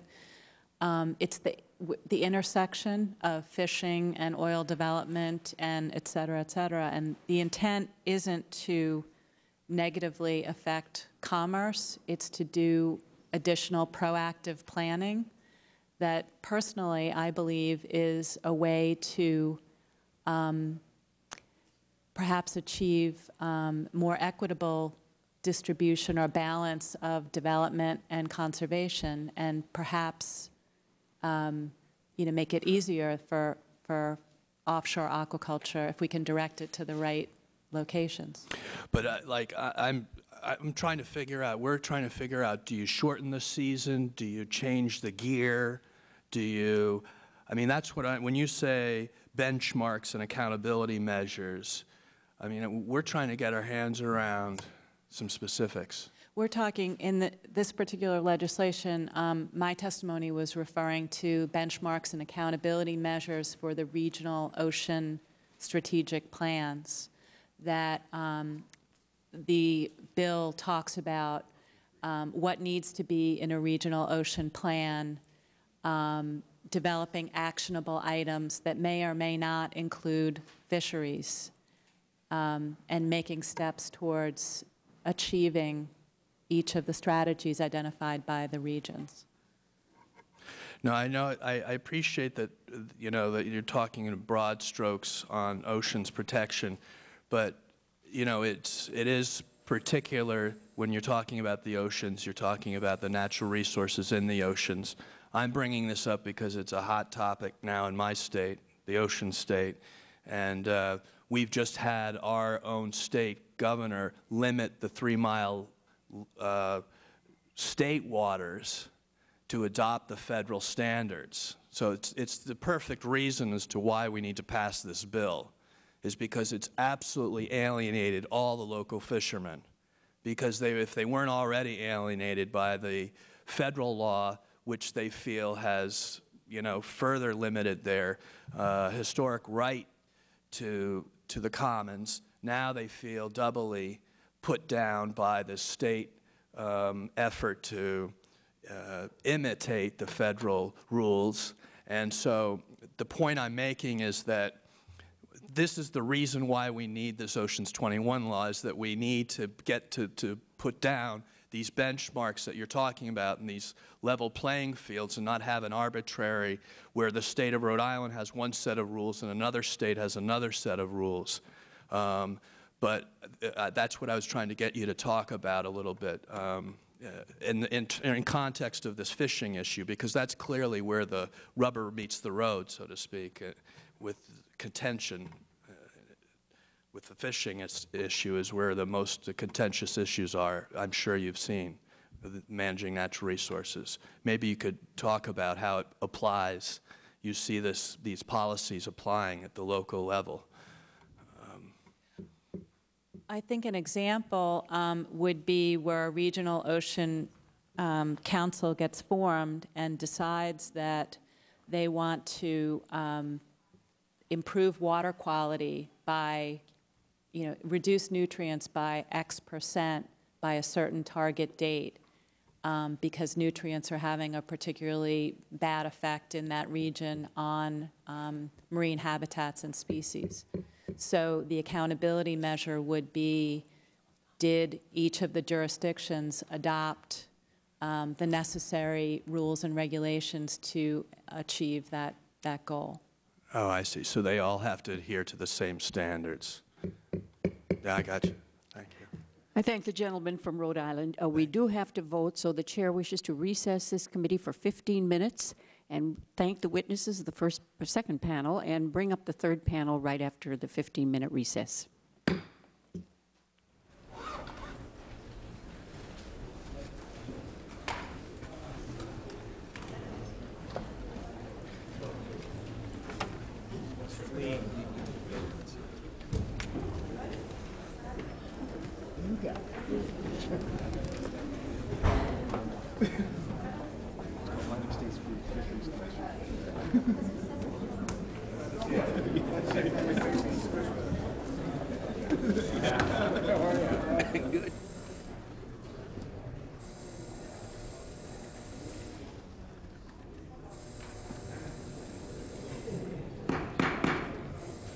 Subcommittee hearing on the uh, fisheries and wildlife and oceans will now commence. And I want to thank the uh, panel, the third panel witnesses who are here with us today. Thank you for being patient. uh, and the rest of the members uh, should be coming in soon. Since I represent the territory of Guam, I can only vote in the Committee of the Whole. So that's why I'm back first.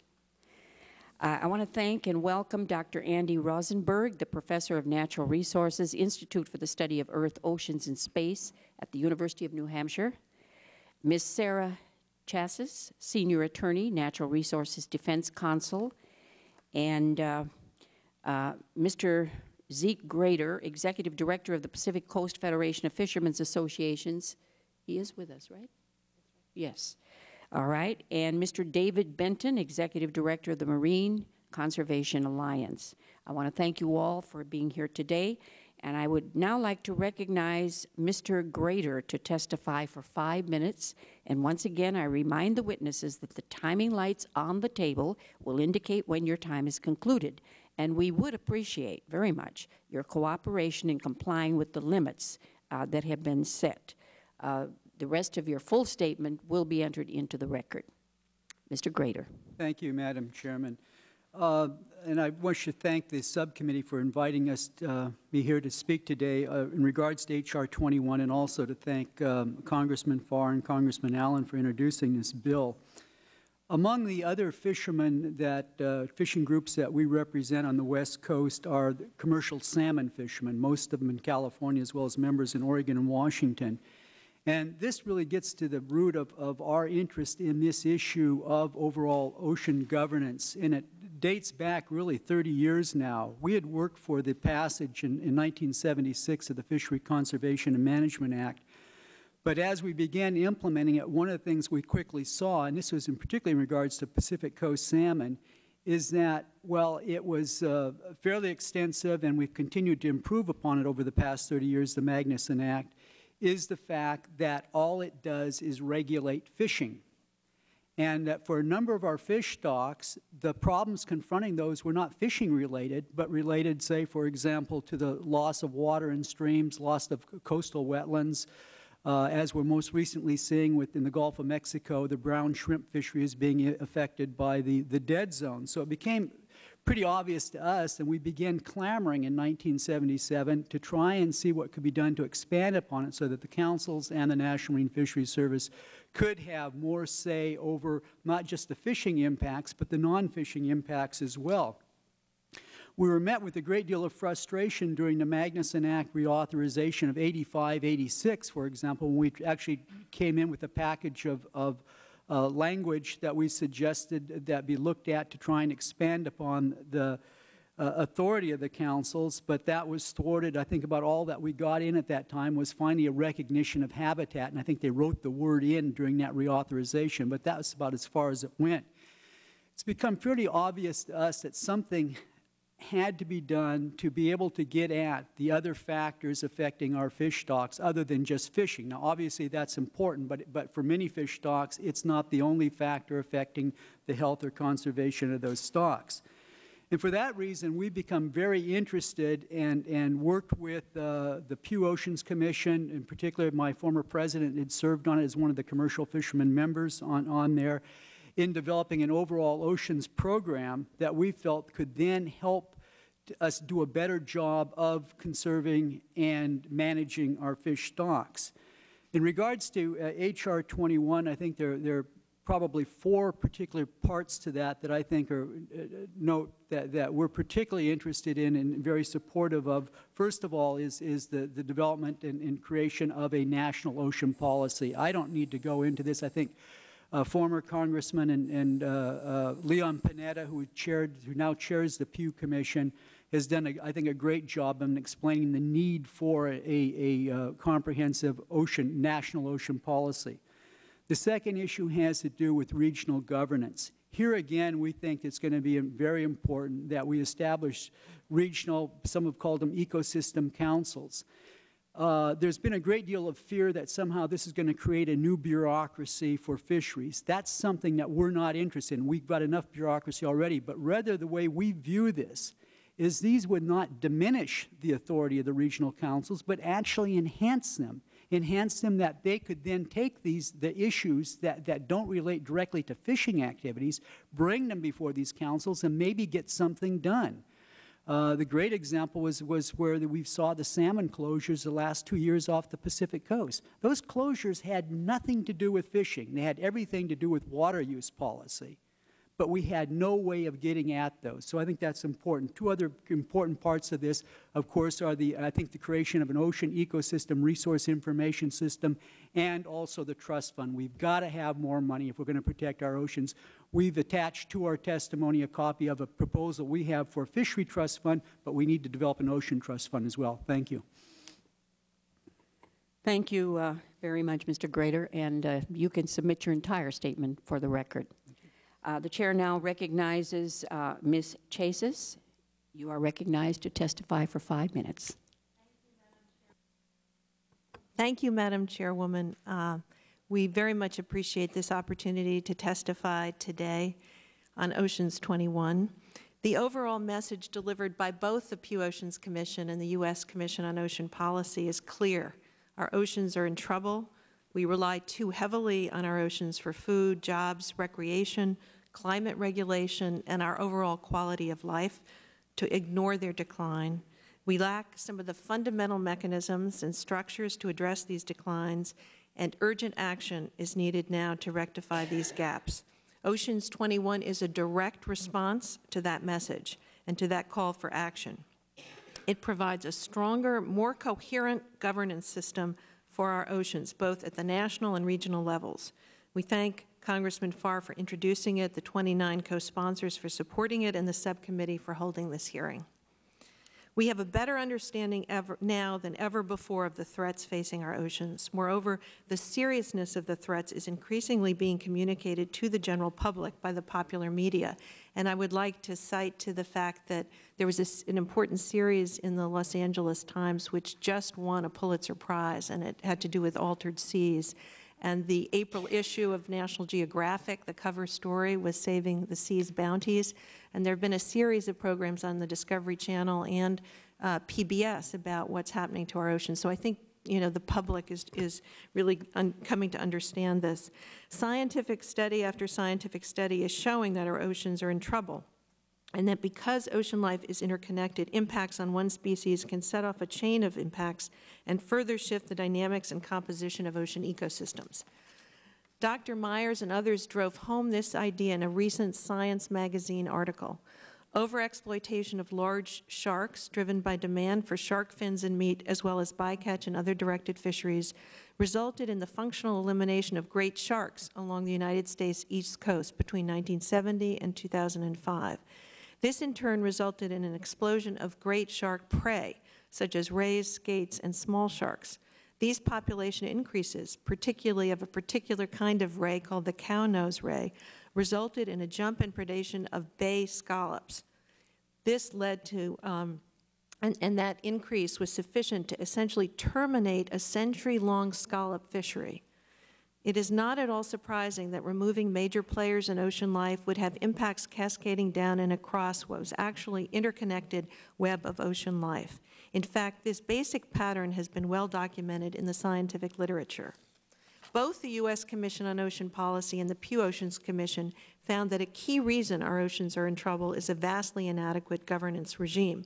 The U.S. Commission stated, and I quote, the nation is not now sufficiently organized legally or administratively to make decisions, set priorities, resolve conflicts, and articulate clear and consistent policies that respond to the wealth of problems and opportunities ocean users face.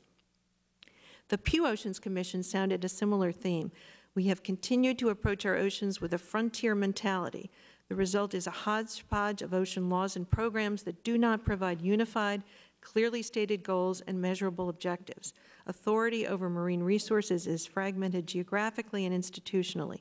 Principles of ecosystem health and integrity, sustainability, and precaution have been lost in the fray. Both commissions called for major reform. The U.S. Commission called for a new National Ocean Policy Framework. The Pew Commission called for a National Ocean Policy Act. Oceans 21 directly responds to the recommendations. It establishes a national ocean policy. It provides a mechanism to implement that policy. It promotes effective coordination within the federal government and between states and the federal government. It establishes an ocean trust fund. Mr. Dunnigan raised the issue about whether there really was a need for legislation.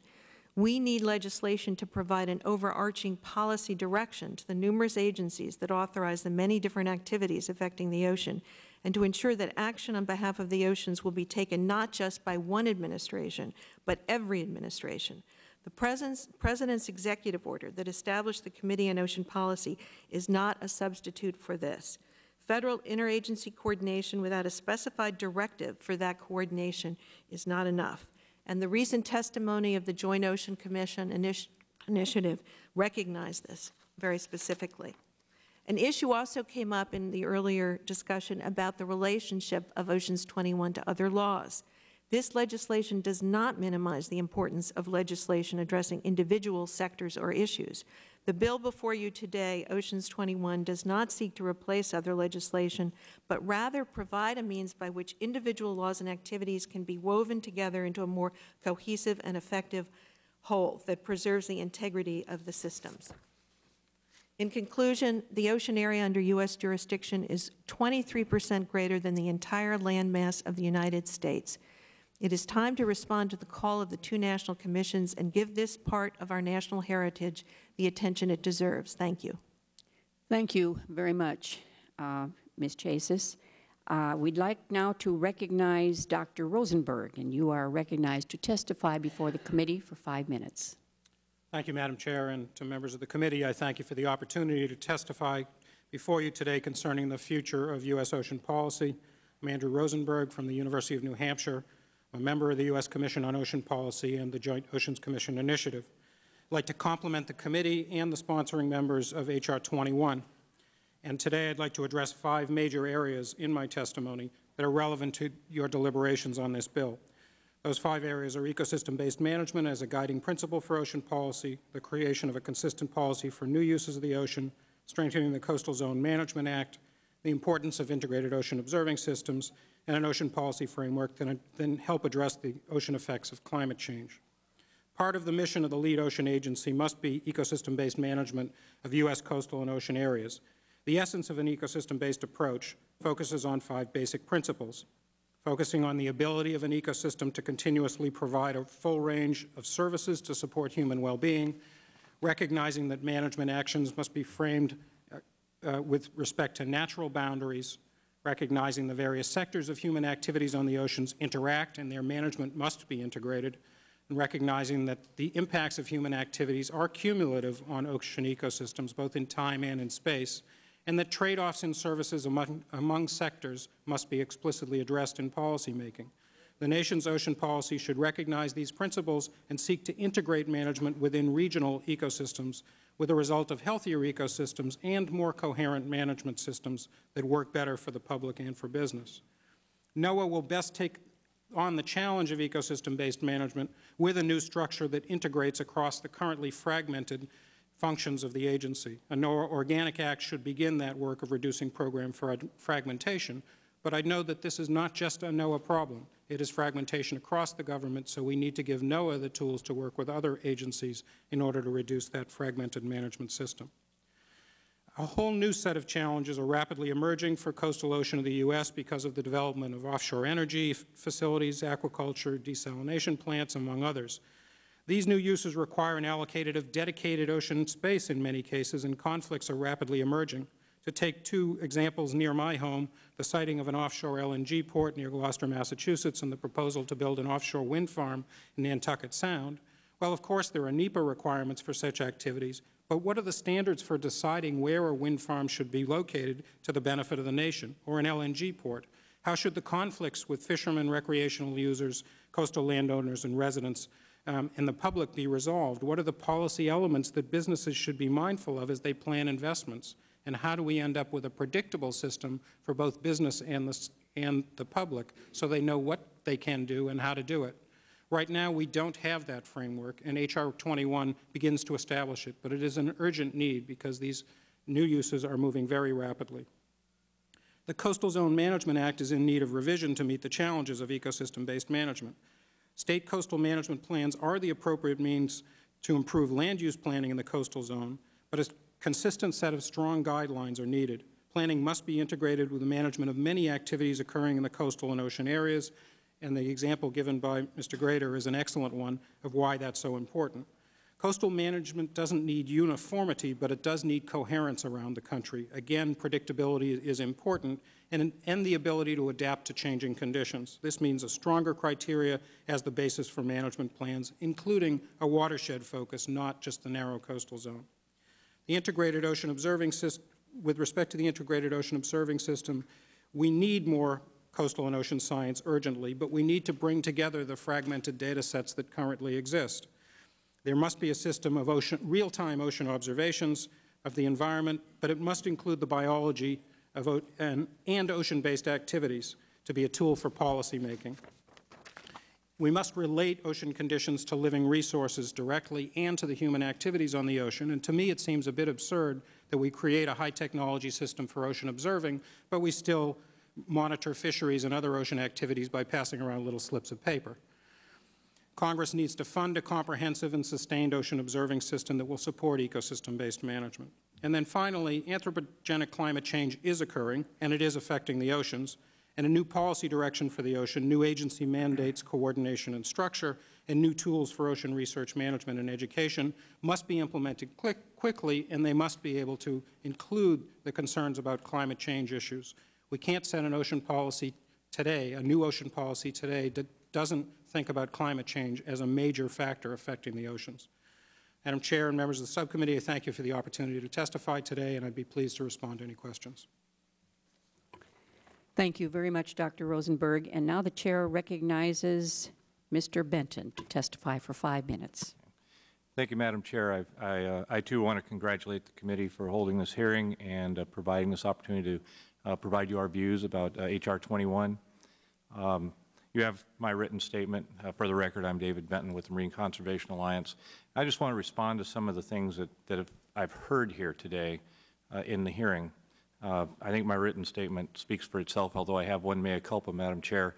Uh, in the last edit, while I was on the airplane, it was supposed to be addressed to Madam Chair, not to Mr. Chairman, and we will make a change to that and submit it accordingly. Um, You're excused. thank you. Um, but do I get an extra two minutes? Anyway, Madam Chair, uh, the Marine Conservation Alliance represents about 80 percent of the seafood production in Alaska. Alaska represents about half the seafood production in the country. Uh, our members uh, come from all walks of life in the seafood industry, harvesters, processors, coastal communities, and, and our, our interests are in finding practical solutions to real-world conservation problems and do that in a timely and cost-effective manner. And we share a lot of the kinds of concerns you've heard here today about uh, bringing management systems together, making them more cohesive, making them more effective, and making them more efficient. And we are very supportive of moving towards ecosystem-based fisheries management or management of other marine resources and, and doing so in a way that's based on good science and a transparent public policy. The problem that I see with H.R. 21 is that because of the way the bill is presently constructed, that doesn't mean we can't fix it, but because of the way the bill is presently constructed, it does not achieve those goals. And in fact, our concern is, is that it could get in the way of making the kinds of progress that we need to get, uh, to get accomplished in this country. And I'll give you an example.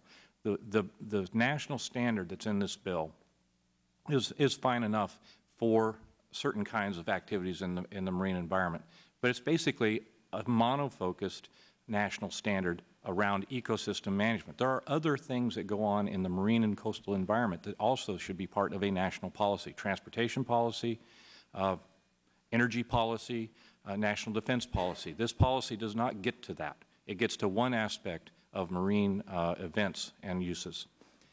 The national, uh, st uh, the standards for implementing the national policy are, are very rigid and very prescriptive. They don't provide the kinds of flexibility that, uh, that you need to have in a real-world management sense. There, all Federal actions that are covered under this bill would be required to, to demonstrate that they are not likely to harm a marine ecosystem, any marine ecosystem. And that's going to be a very difficult challenge to make. And, and, and managers are going to have a very difficult time meeting that standard and doing it in a timely fashion.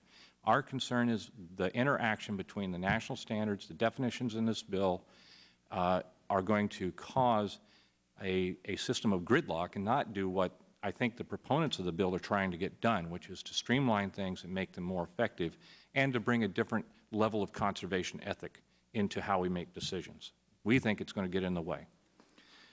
The other, other kind of, of concerns that we have here is the creation of a fairly large and elaborate and expensive bureaucracy. Uh, we've got a lot of bureaucracy now. Uh, the U.S. Commission on Ocean Policy pointed this out very well, and they, they, they laid out some steps that could be taken, but those steps were largely built upon uh, improving existing programs and making uh, the best use that we can of what we have instead of a new bureaucracy that lays over the top. The third thing I want to touch on really quickly is funding. Uh, the bill sets up the trust fund. Uh, we think having a, an oceans trust fund might be a very good idea. The difficulty is that it, the only new source of money is a national stamp. Uh, nobody seems to know how much money that would generate. Uh, we don't think that's going to generate a billion, three hundred million dollars uh, uh, a year. so money is going to have to come out of the general treasury with the physical realities that this country is facing, and you face this all the time here in this, in this town, uh, unless you can identify a new source of money, that means that those general treasury funds that are going to go into that trust fund are going to come and be scored against some program, and we're concerned it's going to be scored against oceans, science, and management programs that already exist. Without a new source of money, the trust fund is simply moving money around and, and shuffling the decks on the Titanic, and we can't afford to do that. And with that, Madam Chair, I'm going to beat the clock, and thank you very much. Thank you. Thank you very much, uh, uh, Mr. Benton. Uh, I'm going to um, go ahead and recognize the members. Of course, I'm the only one here right at the moment. Uh, but I do have questions for each of the witnesses, and hopefully my colleagues will be returning soon. And uh, I know, Mr. Grader, you have a plane to catch uh, later on. How much time can you be with us? I've probably got about another seven minutes. Oh, well, good. Just time for my question. Um, this has to do with the trust fund. Uh, the administration testified that they oppose the establishment of a trust fund because it somehow limits their ability to identify and fund priorities. Has it been your experience that the programs needed to better manage our fisheries and oceans have received the funding they need by relying on the prioritization process of the administration? No, they, no, they have not, uh, Madam Chairman, uh, and that's been one of our concerns. We, we started beginning clamoring for a trust fund well over 10 years ago and, and, and basically designed a model for both an ocean and uh, a, uh, a, fishery trust fund. But part of the problem we've gotten into trouble in fisheries in this country was not just, just greed or avarice, but was ignorance because we simply did not have the adequate funds to do the research that was required and we still don't. And so I think from that standpoint, and, and looking larger at our oceans, uh, we need to have a steady source of funds. One thing we looked at as a model, albeit a small one, was the uh, Sport Fishing Restoration Fund, which has been a very popular program funded by a, um, uh, a tax uh, on all sporting goods, uh, sport fishing goods sold, as well as on the marine uh, diesel or marine gasoline, I should, excuse me. That's raised a lot of money. The monies are then uh, uh, administered by the Fish and Wildlife Service and go back out to the states for the programs. That's been an extremely popular program, and I think the uh, you know, development of a, of a trust fund for our oceans is good. We share Mr. Benton's concerns that, that the uh, money identified in here is not adequate. But on the other hand, we see this as positive, much as we did with Magnuson. At least we started we got the, a trust fund concept started. Then I think in both the case of fisheries and in our oceans, we do need to identify other sources. For fisheries, we've done that. We haven't done that yet for oceans.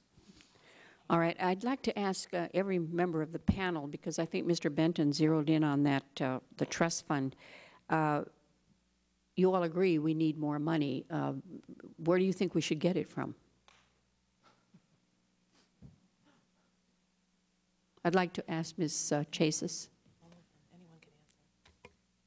Well, I think uh, we agree with Zeke that um, the idea of creating the fund and and making sure that you know one thing that's important is not only making sure money is set aside in the fund, but that it's mandated to be spent. Um, because we've seen with other programs like the Land and Water Conservation Fund that money goes into it, but then uh, we don't see it coming out. Um, we think that um, there are potentially other sources of funding that could go into this. The, the kind of proposal that Zeke's group has put forward in terms of a seafood tax potentially. Um, one area that we've been concerned about including that um, has sometimes been the subject of discussion is offshore oil and gas revenues. And we would want to, you know, look at that kind of proposal very, very carefully. We certainly don't want to have, have funding sources which actually encourage activities which could be more damaging uh, to the ocean than, um, you know, when the goal here is really to try to protect the, uh, the ocean. Thank you. I'd like to ask next Dr. Rosenberg the same question. Thank you, Madam Chair. Um, the, the Commission recommended uh, some specific sources of funding for an ocean trust fund, and I do think it's very important that it be an ocean trust fund for a range of uses. There are fisheries issues, but there's many others. Um, certainly, the uh, use of offshore oil and gas revenues is difficult, and we recognize that, of course, it's always a little bit of a zero-sum game of, of trying to move money from one place to another. I think it is important to recognize that ocean-related uh, activities, ocean science and education have been underfunded for quite a while. And so the decision with regard to oil and gas funding, I think, um, is, is, certainly a matter of priorities between competing uses. Um, but one part of the Commission recommendation that hasn't uh, perhaps been fully appreciated is that we recommended that the new uses of the ocean that I mentioned in my testimony, including aquaculture, including wind, you know, offshore energy facilities, LNG ports, and so on, are potentially, since they require a dedicated ocean space, public um, trust uh, space, that they are potentially an important source of funding. And there has been no decision um, or, uh, as far as I'm aware, no extensive discussion of that particular potential source of revenue. It also argues for having a consistent and comprehensive um, system for managing those new uses as they come up. And so I think that that is an important source of revenue that should be considered in development of this trust fund, along with some of the other competing uses. Thank you. Thank you. Thank you, Dr. Rosenberg. I've listened to the three of you. Of course, we're going to hear from uh, Mr. Benton, but uh, this is why we're having this, this uh, hearing, to get ideas and uh, some of them are very interesting, and certainly the committee will take note. Mr. Benton. Thank you, Madam Chair. Um, I, uh, I, I, concur with uh, Dr. Rosenberg and, and with Ms. Chasis in their comments uh, about where to find monies. I know that offshore oil and gas revenues are a difficult, uh, at least uh, philosophical issue, and they have some practical, practical issues as well. One thing that, uh, that occurred to me sitting here was that a few years back, uh, there was a bipartisan bill, uh, I think it was authored, in fact, by Congressman Young from my state, uh, to create a, a conservation trust fund. I can't remember exactly the name of it, uh, but I think we could certainly pull that back up and, uh, and see where the revenue sources for that um, were going to come from and see uh, if, if that might provide an avenue to pursue.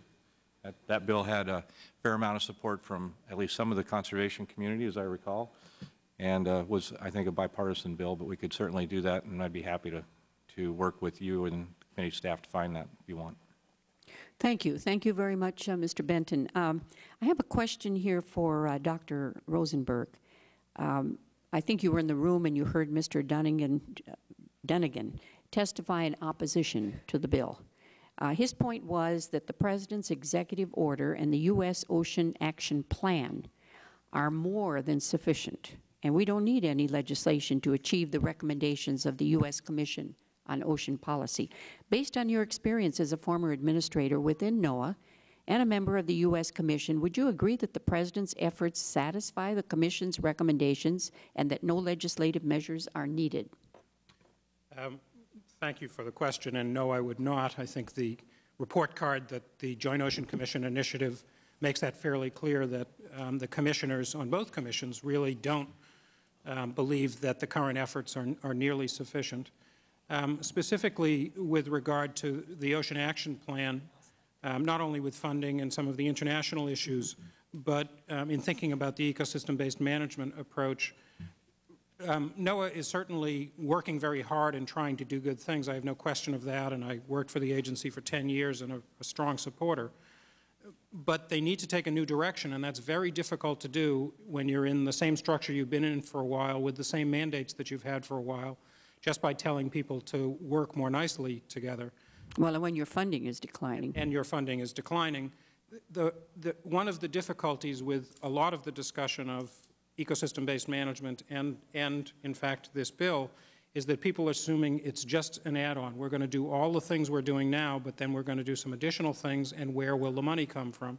And that was the sense of, of Mr. Dunnigan's comments. I think the argument within the Commission, um, or from the Commission, is that we're saying we need to do things differently. We need to connect up those programs differently, not just add the layers, as I think Mr. Benton referred to. And that's a difficult task for an agency that's been in existence for 37 years to to make changes and directions. Are they doing some things? Yes. Is it sufficient? No, it is not. Thank you. Ms. Chasis, would you like to comment on that? Yes, I think that, um, you know, there is the Committee on Ocean Policy that's created by the President's executive order, but there is no clear direction uh, of policy to that entity. And I think uh, Congress really is the one that needs to provide that direction in order for us to see the real coordination and um, direction of, uh, in terms of ecosystem-based management that, that we need and that the two commissions uh, requested. And also, you know, we need something that's permanent, that's got longevity, and something that's just created by one president uh, through executive order just does not have the same stature or importance as a piece of legislation uh, that Congress has, has enacted. So I don't think the responses of the administration are at all satisfactory to the concerns that our community has and that the two commissions have. Thank you. you. You mentioned something on one point that I keep bringing up. I served in the executive branch in my community uh, government as a lieutenant governor, and executive orders are executive orders. They come and they go. Mm -hmm and uh, they may not be uh, what the next administration wishes to carry out, so very simply. But, you know, when you work through Congress, you know that it's something permanent, and I think that's important. Mm -hmm. Mr. Benton, do you have any comments on that? Well, Madam Chair, I, I, um, I think that the administration made a first, a good first stab at trying to pick up on the recommendations from uh, the, the U.S. Ocean Commission. Uh, I have no problem if, uh, if the Congress wants to establish in statute, uh, you know, a policy advisor in, in the executive branch and, and the President's uh, office and, and that committee. Um, I, I don't think when, I don't think that's going to uh, make a, a huge difference uh, whether it's established by statute or not because and I simply, I agree with your statement about, you know, executive orders come and go. But there is so much attention and interest in the oceans that I believe for the foreseeable future, next several presidents down the way, this is going to be a major topic for the country. They're going to, they're going to follow in those footsteps. If, well, if, if, and if I may, the, the real issue comes down to some other pieces of what the President started, what the Commission recommended, and where we really, I believe, need to be focused. the, the Integrated Ocean Observing System is a very important piece. We will not be able to do ecosystem management well if we don't have a much more improved data set to operate from. And those kinds of things, those kinds of recommendations are the ones that we need to be picking up on. They are not dealt with well in this bill, and this bill could get in the way of that unless we solve that funding issue. And the President started down that road but he has not finished that job at all.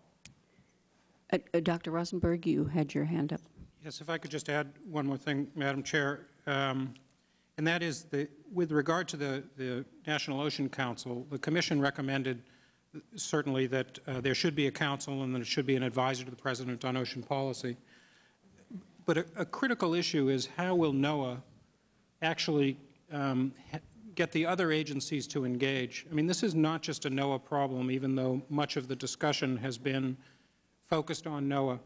And in a National Ocean Council, unless you have a clear policy direction that is national, and they have a task to do with regard to a set of standards or a specific policy statement, it will be very difficult for a relatively small agency like NOAA to, to go to the Navy or NSF or EPA or Department of Transportation and get them to pay attention to those same issues unless there's some, something pushing them to do so. And that's why I think it's very important to have a clear overarching mandate from Congress that says to do that. Yes, the President could direct the, his secretaries to do so, but without a clear imperative of what they're supposed to oh, do, I just don't think that they're all going to come and come to the table and work together. Thank you. Thank you very much, Dr. Rosenberg. Well, you know, we can speak forever on this, but we're here to get input from all of you to, to make this a better piece of legislation. But I wouldn't want to be working under an executive order. That's for sure. Because no matter how important this particular subject is, and it will continue to be of great importance in the future, it's just good to have that permanent feeling of knowing that no one can make any changes, and we've got a piece of legislation behind us, and, and we're permanent. That, to me, is very important. And I'm very happy that um, the uh, father of this bill is here, back with us, uh, Congressman Farr, and uh, I've tried to stretch it out as long as I could till everybody got back. So I'd like to uh, recognize uh, uh, Representative Farr. Thank you very much. I'm, i really appreciate even continuing on. If um, I know our witnesses, some had to catch planes, and most of the members of Congress, when I ran out after this last vote, are already uh, in on their in the airport. I mean, they just ran for their cars. So this town is emptying, or em it's emptying right now. Um, and I think it's important that you were able to get all the panels uh, to participate because we oftentimes uh, cut off the, the, the panels, and I, and I appreciate your leadership on this. Um, I really have no questions. I'm just very excited that we had a, a, a you know, very good uh, observations today, if not, and some in committing that this is a great bill and a great in the right direction, but the whole recognition that uh, status quo does not solve the problems.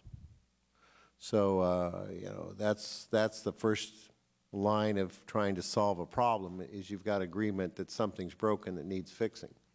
And uh, I think from there we can make great progress. Thank you very much, the gentleman from California, Mr. Farr. I have uh, another question for uh, Ms. Chasis. Uh, both the administration and the Coastal States Organization oppose the requirement under Title I that federal agency actions be administered in accordance with the National Ocean Policy, arguing that it will create a bottleneck that will block activities from occurring. Do you agree? And if not, why not? How will this process work?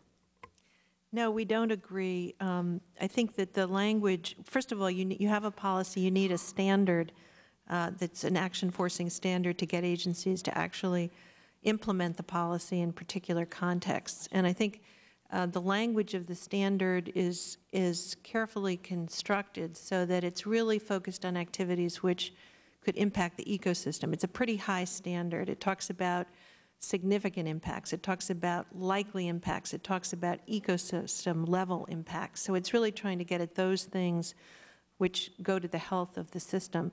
The other point is it's not trying to replace the mandates of other law. That issue, I think, came up earlier. What it's saying is integrate this policy with the other mandates, eh, mandates to the maximum extent you can. Don't, you know, if, it's a, if there's an inherent conflict between the mandates of another law and this, that's, you know, the other law holds. But to the extent there's discretion, this is in a sense like the way it works under the Coastal Zone Management Act, you, you're requiring agencies to be consistent with this policy to the maximum extent possible. So we think it's, a, it's an important action forcing mechanism. It's not designed to, to block things in the oceans. It's trying to say, look at um, the things that are really going to have major impact and make sure that the overall functioning of the system is, is maintained, which is needed to support fisheries, to, to support all these other uses that are so vital. Thank you. Thank you. Thank you, Ms. Chasis. Uh, the other panelists wish to comment on that? Ms. Dr. Rosenberg and then Mr. Benton.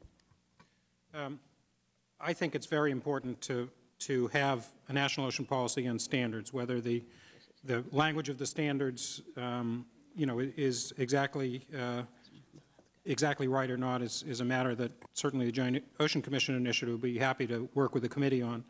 The reason that I think it's so important um, is because I do think you need to have federal agencies engage on this issue. And oddly enough, I think that the, the least problematic area is fisheries, because fisheries already has to do this within their existing statute. And so all the concern is that this is going to change fisheries management, and I don't think it will.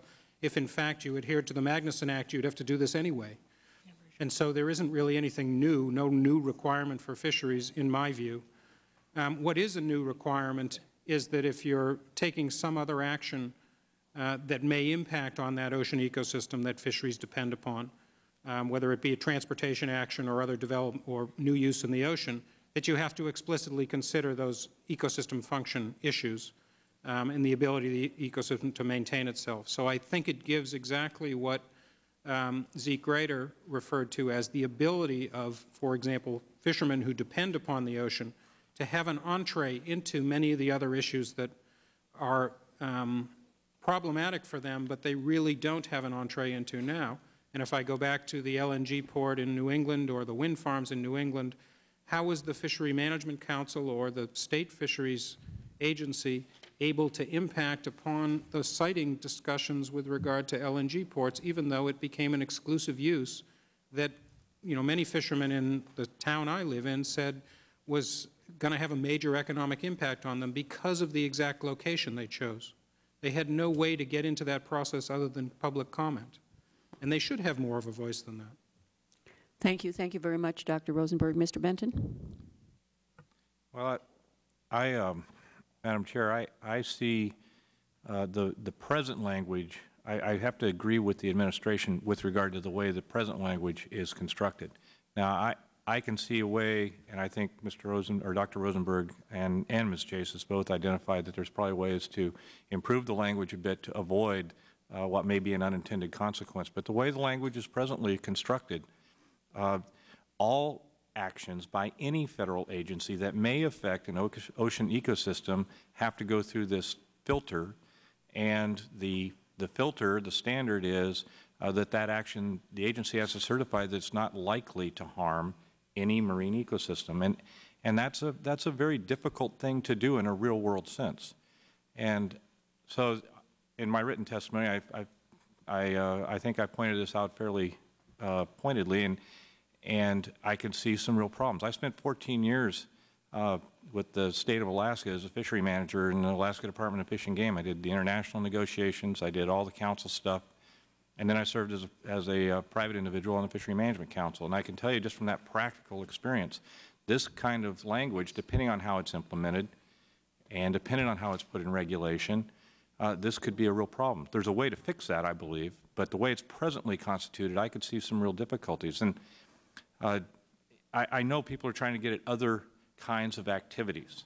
Uh, you know, some of the coastal zone, de development in coastal zones or, or effects like in up, you know, upriver that's affecting salmon. And I'm, I'm very sympathetic to that. I've seen it the other way. I was the U.S. negotiator uh, uh, along with uh, some counterparts from Washington State uh, on a salmon treaty with Canada. One of the big problems in that treaty uh, was uh, threatened and endangered salmon in the Columbia River in the Pacific Northwest. And the, the effects that uh, habitat degradation we're having on those salmon, and it was a legitimate concern. It was, uh, you know, those, they were listed, and that's a big problem. What happened was that the uh, the Canadians and some folks from the southern United States tried to use that as a negotiating tactic in an international treaty, and they um, they they were using very inappropriately those kinds of considerations, which were in many ways domestic considerations, to leverage other parties in those negotiations uh, to do things that were not biologically necessary. And I could see this standard sort of having that same kind of unintended, I, I believe unintended, consequence. Mm -hmm. And so I'd be very cautious.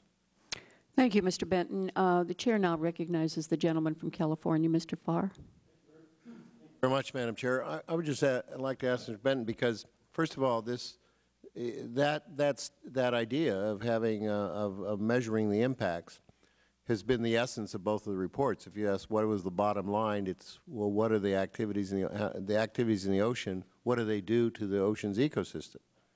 And um, everybody says, yes, we need to do that, but how do we do it? And, and I guess my frustration is we've had this language around, this has been the essence of this bill for now uh, about four years.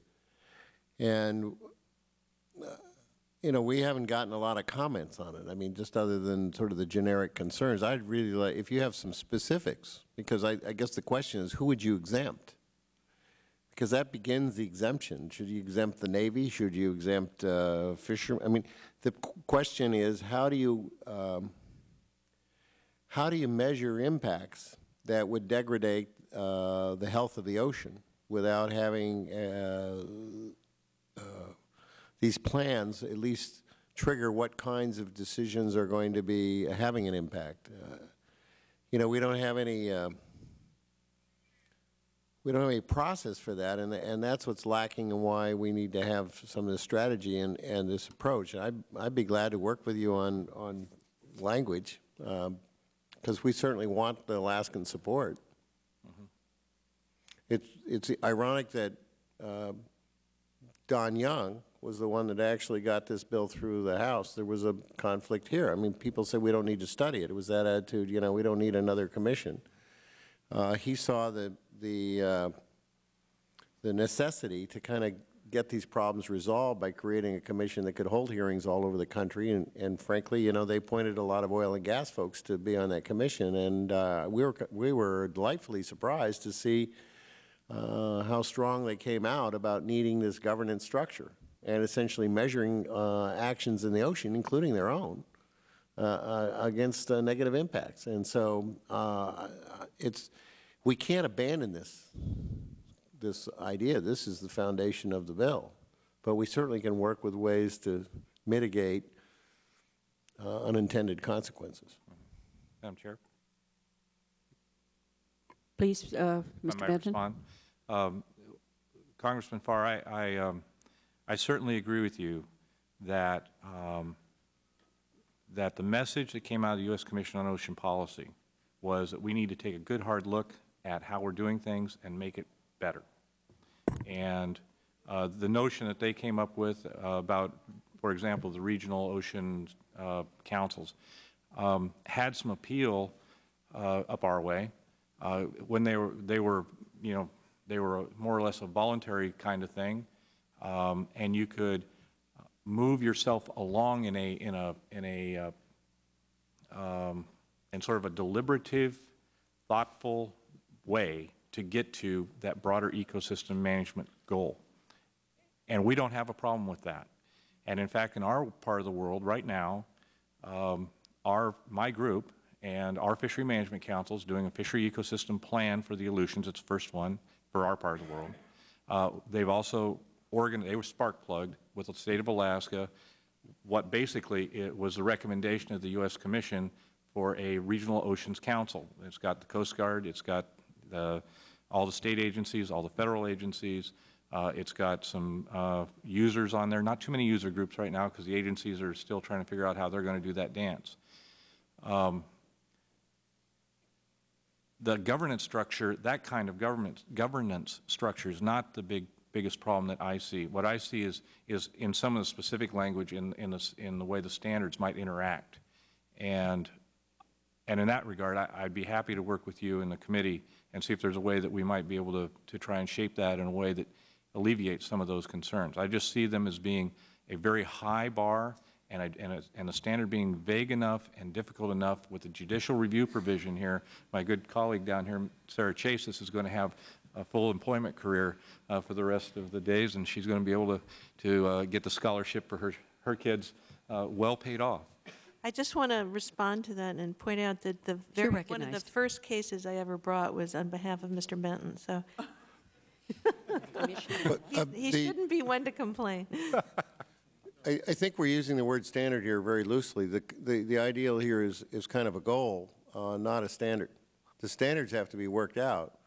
And, and the only this thing I would have to say to you is that I've been involved in these where you sort of, you can do the model well in your own backyard and you really solve the problem. And I applaud Alaska. It's getting a lot of accolades. You're really doing a wonderful job of, of meeting with the, the environmental concerns and the fishery concerns and others.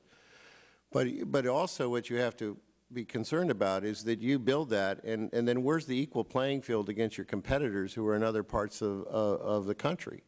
Because when it comes, you're, you're selling to the same market, and you're trying to, uh, you need some standards there where your, your competitors have to live by those same standards. And that's the equal playing field, and that's, that's the certainty that economics and investment uh, like to have. So I don't think you can just leave this up that it's all going to work out if everybody voluntarily agrees to do something, because what, what happens with volunteer organizations, they're usually led by an incredible personality uh, uh, or team of people, and when they go, it, it, it weakens. It falls apart. There's no uh, resources to continue it.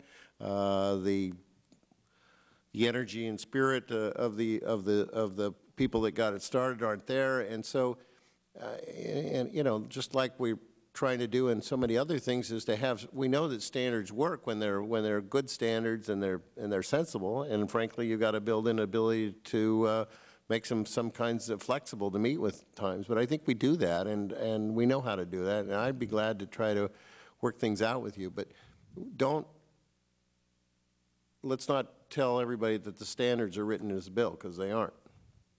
The goals are written in this bill Dr. Rosenberg, you wanted to respond? Um, Thank you. Just a few quick points. First, uh, fishery ecosystem plans are not the same thing as ecosystem-based management because the whole essence is cross-sectoral. So I think there are some good things going on in fisheries, and that's great, but you've got to give people the ability to actually have an impact on other sectors. Um, secondly, I, the Commission did recommend uh, the development of pilot programs on a voluntary basis for regional ocean councils, and that has occurred um, to, in many areas, and it has gone quite well. One of the issues there is, so what will happen in the federal waters and adjacent to those state waters, because in many cases um, we have had state action, as, as indicated in the report card, um, with, with quite a good grade for the regional and state actions. But we need to make sure that for the federal water activities, we can, we can actually utilize some of the important things that are coming through from the state level. Uh, and thirdly, I would be very cautious uh, about any exemptions for any sectors. Um, a couple of years ago, I testified on a bill in the state of Massachusetts, um, and the governor, at the time, Governor Romney's bill um, was an Ocean Policy Act, um, a Comprehensive Ocean Policy Planning Act, but it exempted fisheries, coastal construction, uh, sand and gravel mining, um, and I think port development. And at the end, it was a little hard to know what was going to be included in the Comprehensive Oceans Act because everybody said, well, yes, you should do it to everyone else, but not to me. So everyone else should coordinate and respond to us, but not to me. And once you start down that road, I think it's just very, you lose the, the essence of the bill. Thank you. Thank you very much, uh, Dr. Rosenberg. I, I just want to go back quickly before we conclude here. Uh, Mr. Benton, I think you, you made a comment, uh, something on the, in the area of the Commission on Ocean Policy uh, thinks we have to look at the way we're doing things now, something on that order. And I just want to say change is hard, but sometimes needed. And I think this is the way we have to conclude this hearing, that you, many of you have come up with some excellent ideas. And the author of uh, H.R. 21, Mr. Farr, is here. Uh, he's listened. He, I'm sure he will read all the testimonies that have come in. But um, uh, it's something, and you all agreed, this is the future. We have to look at it. We have to consolidate it. We have to make it work more smoothly. And so uh, I just want to thank all of you for your testimonies today and uh, to remember that uh, your full statements will be entered into the record. And I want to thank the members, although many of them, as Mr. Farr said, are on their, on their way back home now. Um, uh, you, you have the hearing record will be open for 10 days uh, if you wish to enter anything into the record. So I just want to remind you that. And also, I ask unanimous consent that a statement from Philip Cousteau and an article on gov ocean governance be included in the record. Hearing no objection, so ordered. If there is no further business before the subcommittee, The chairwoman again thanks the members of the subcommittee and our witnesses. The subcommittee stands adjourned.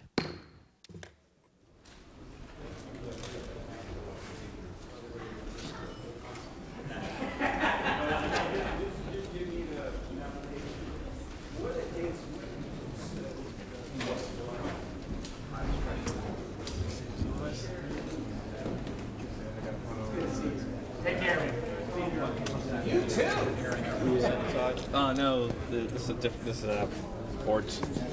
State ports. Yeah, state ports over Later today, here on C SPAN 2, an all day symposium on Congress and slavery in the District of Columbia with scholars and history professors. That's live beginning at 8.30 a.m. Eastern.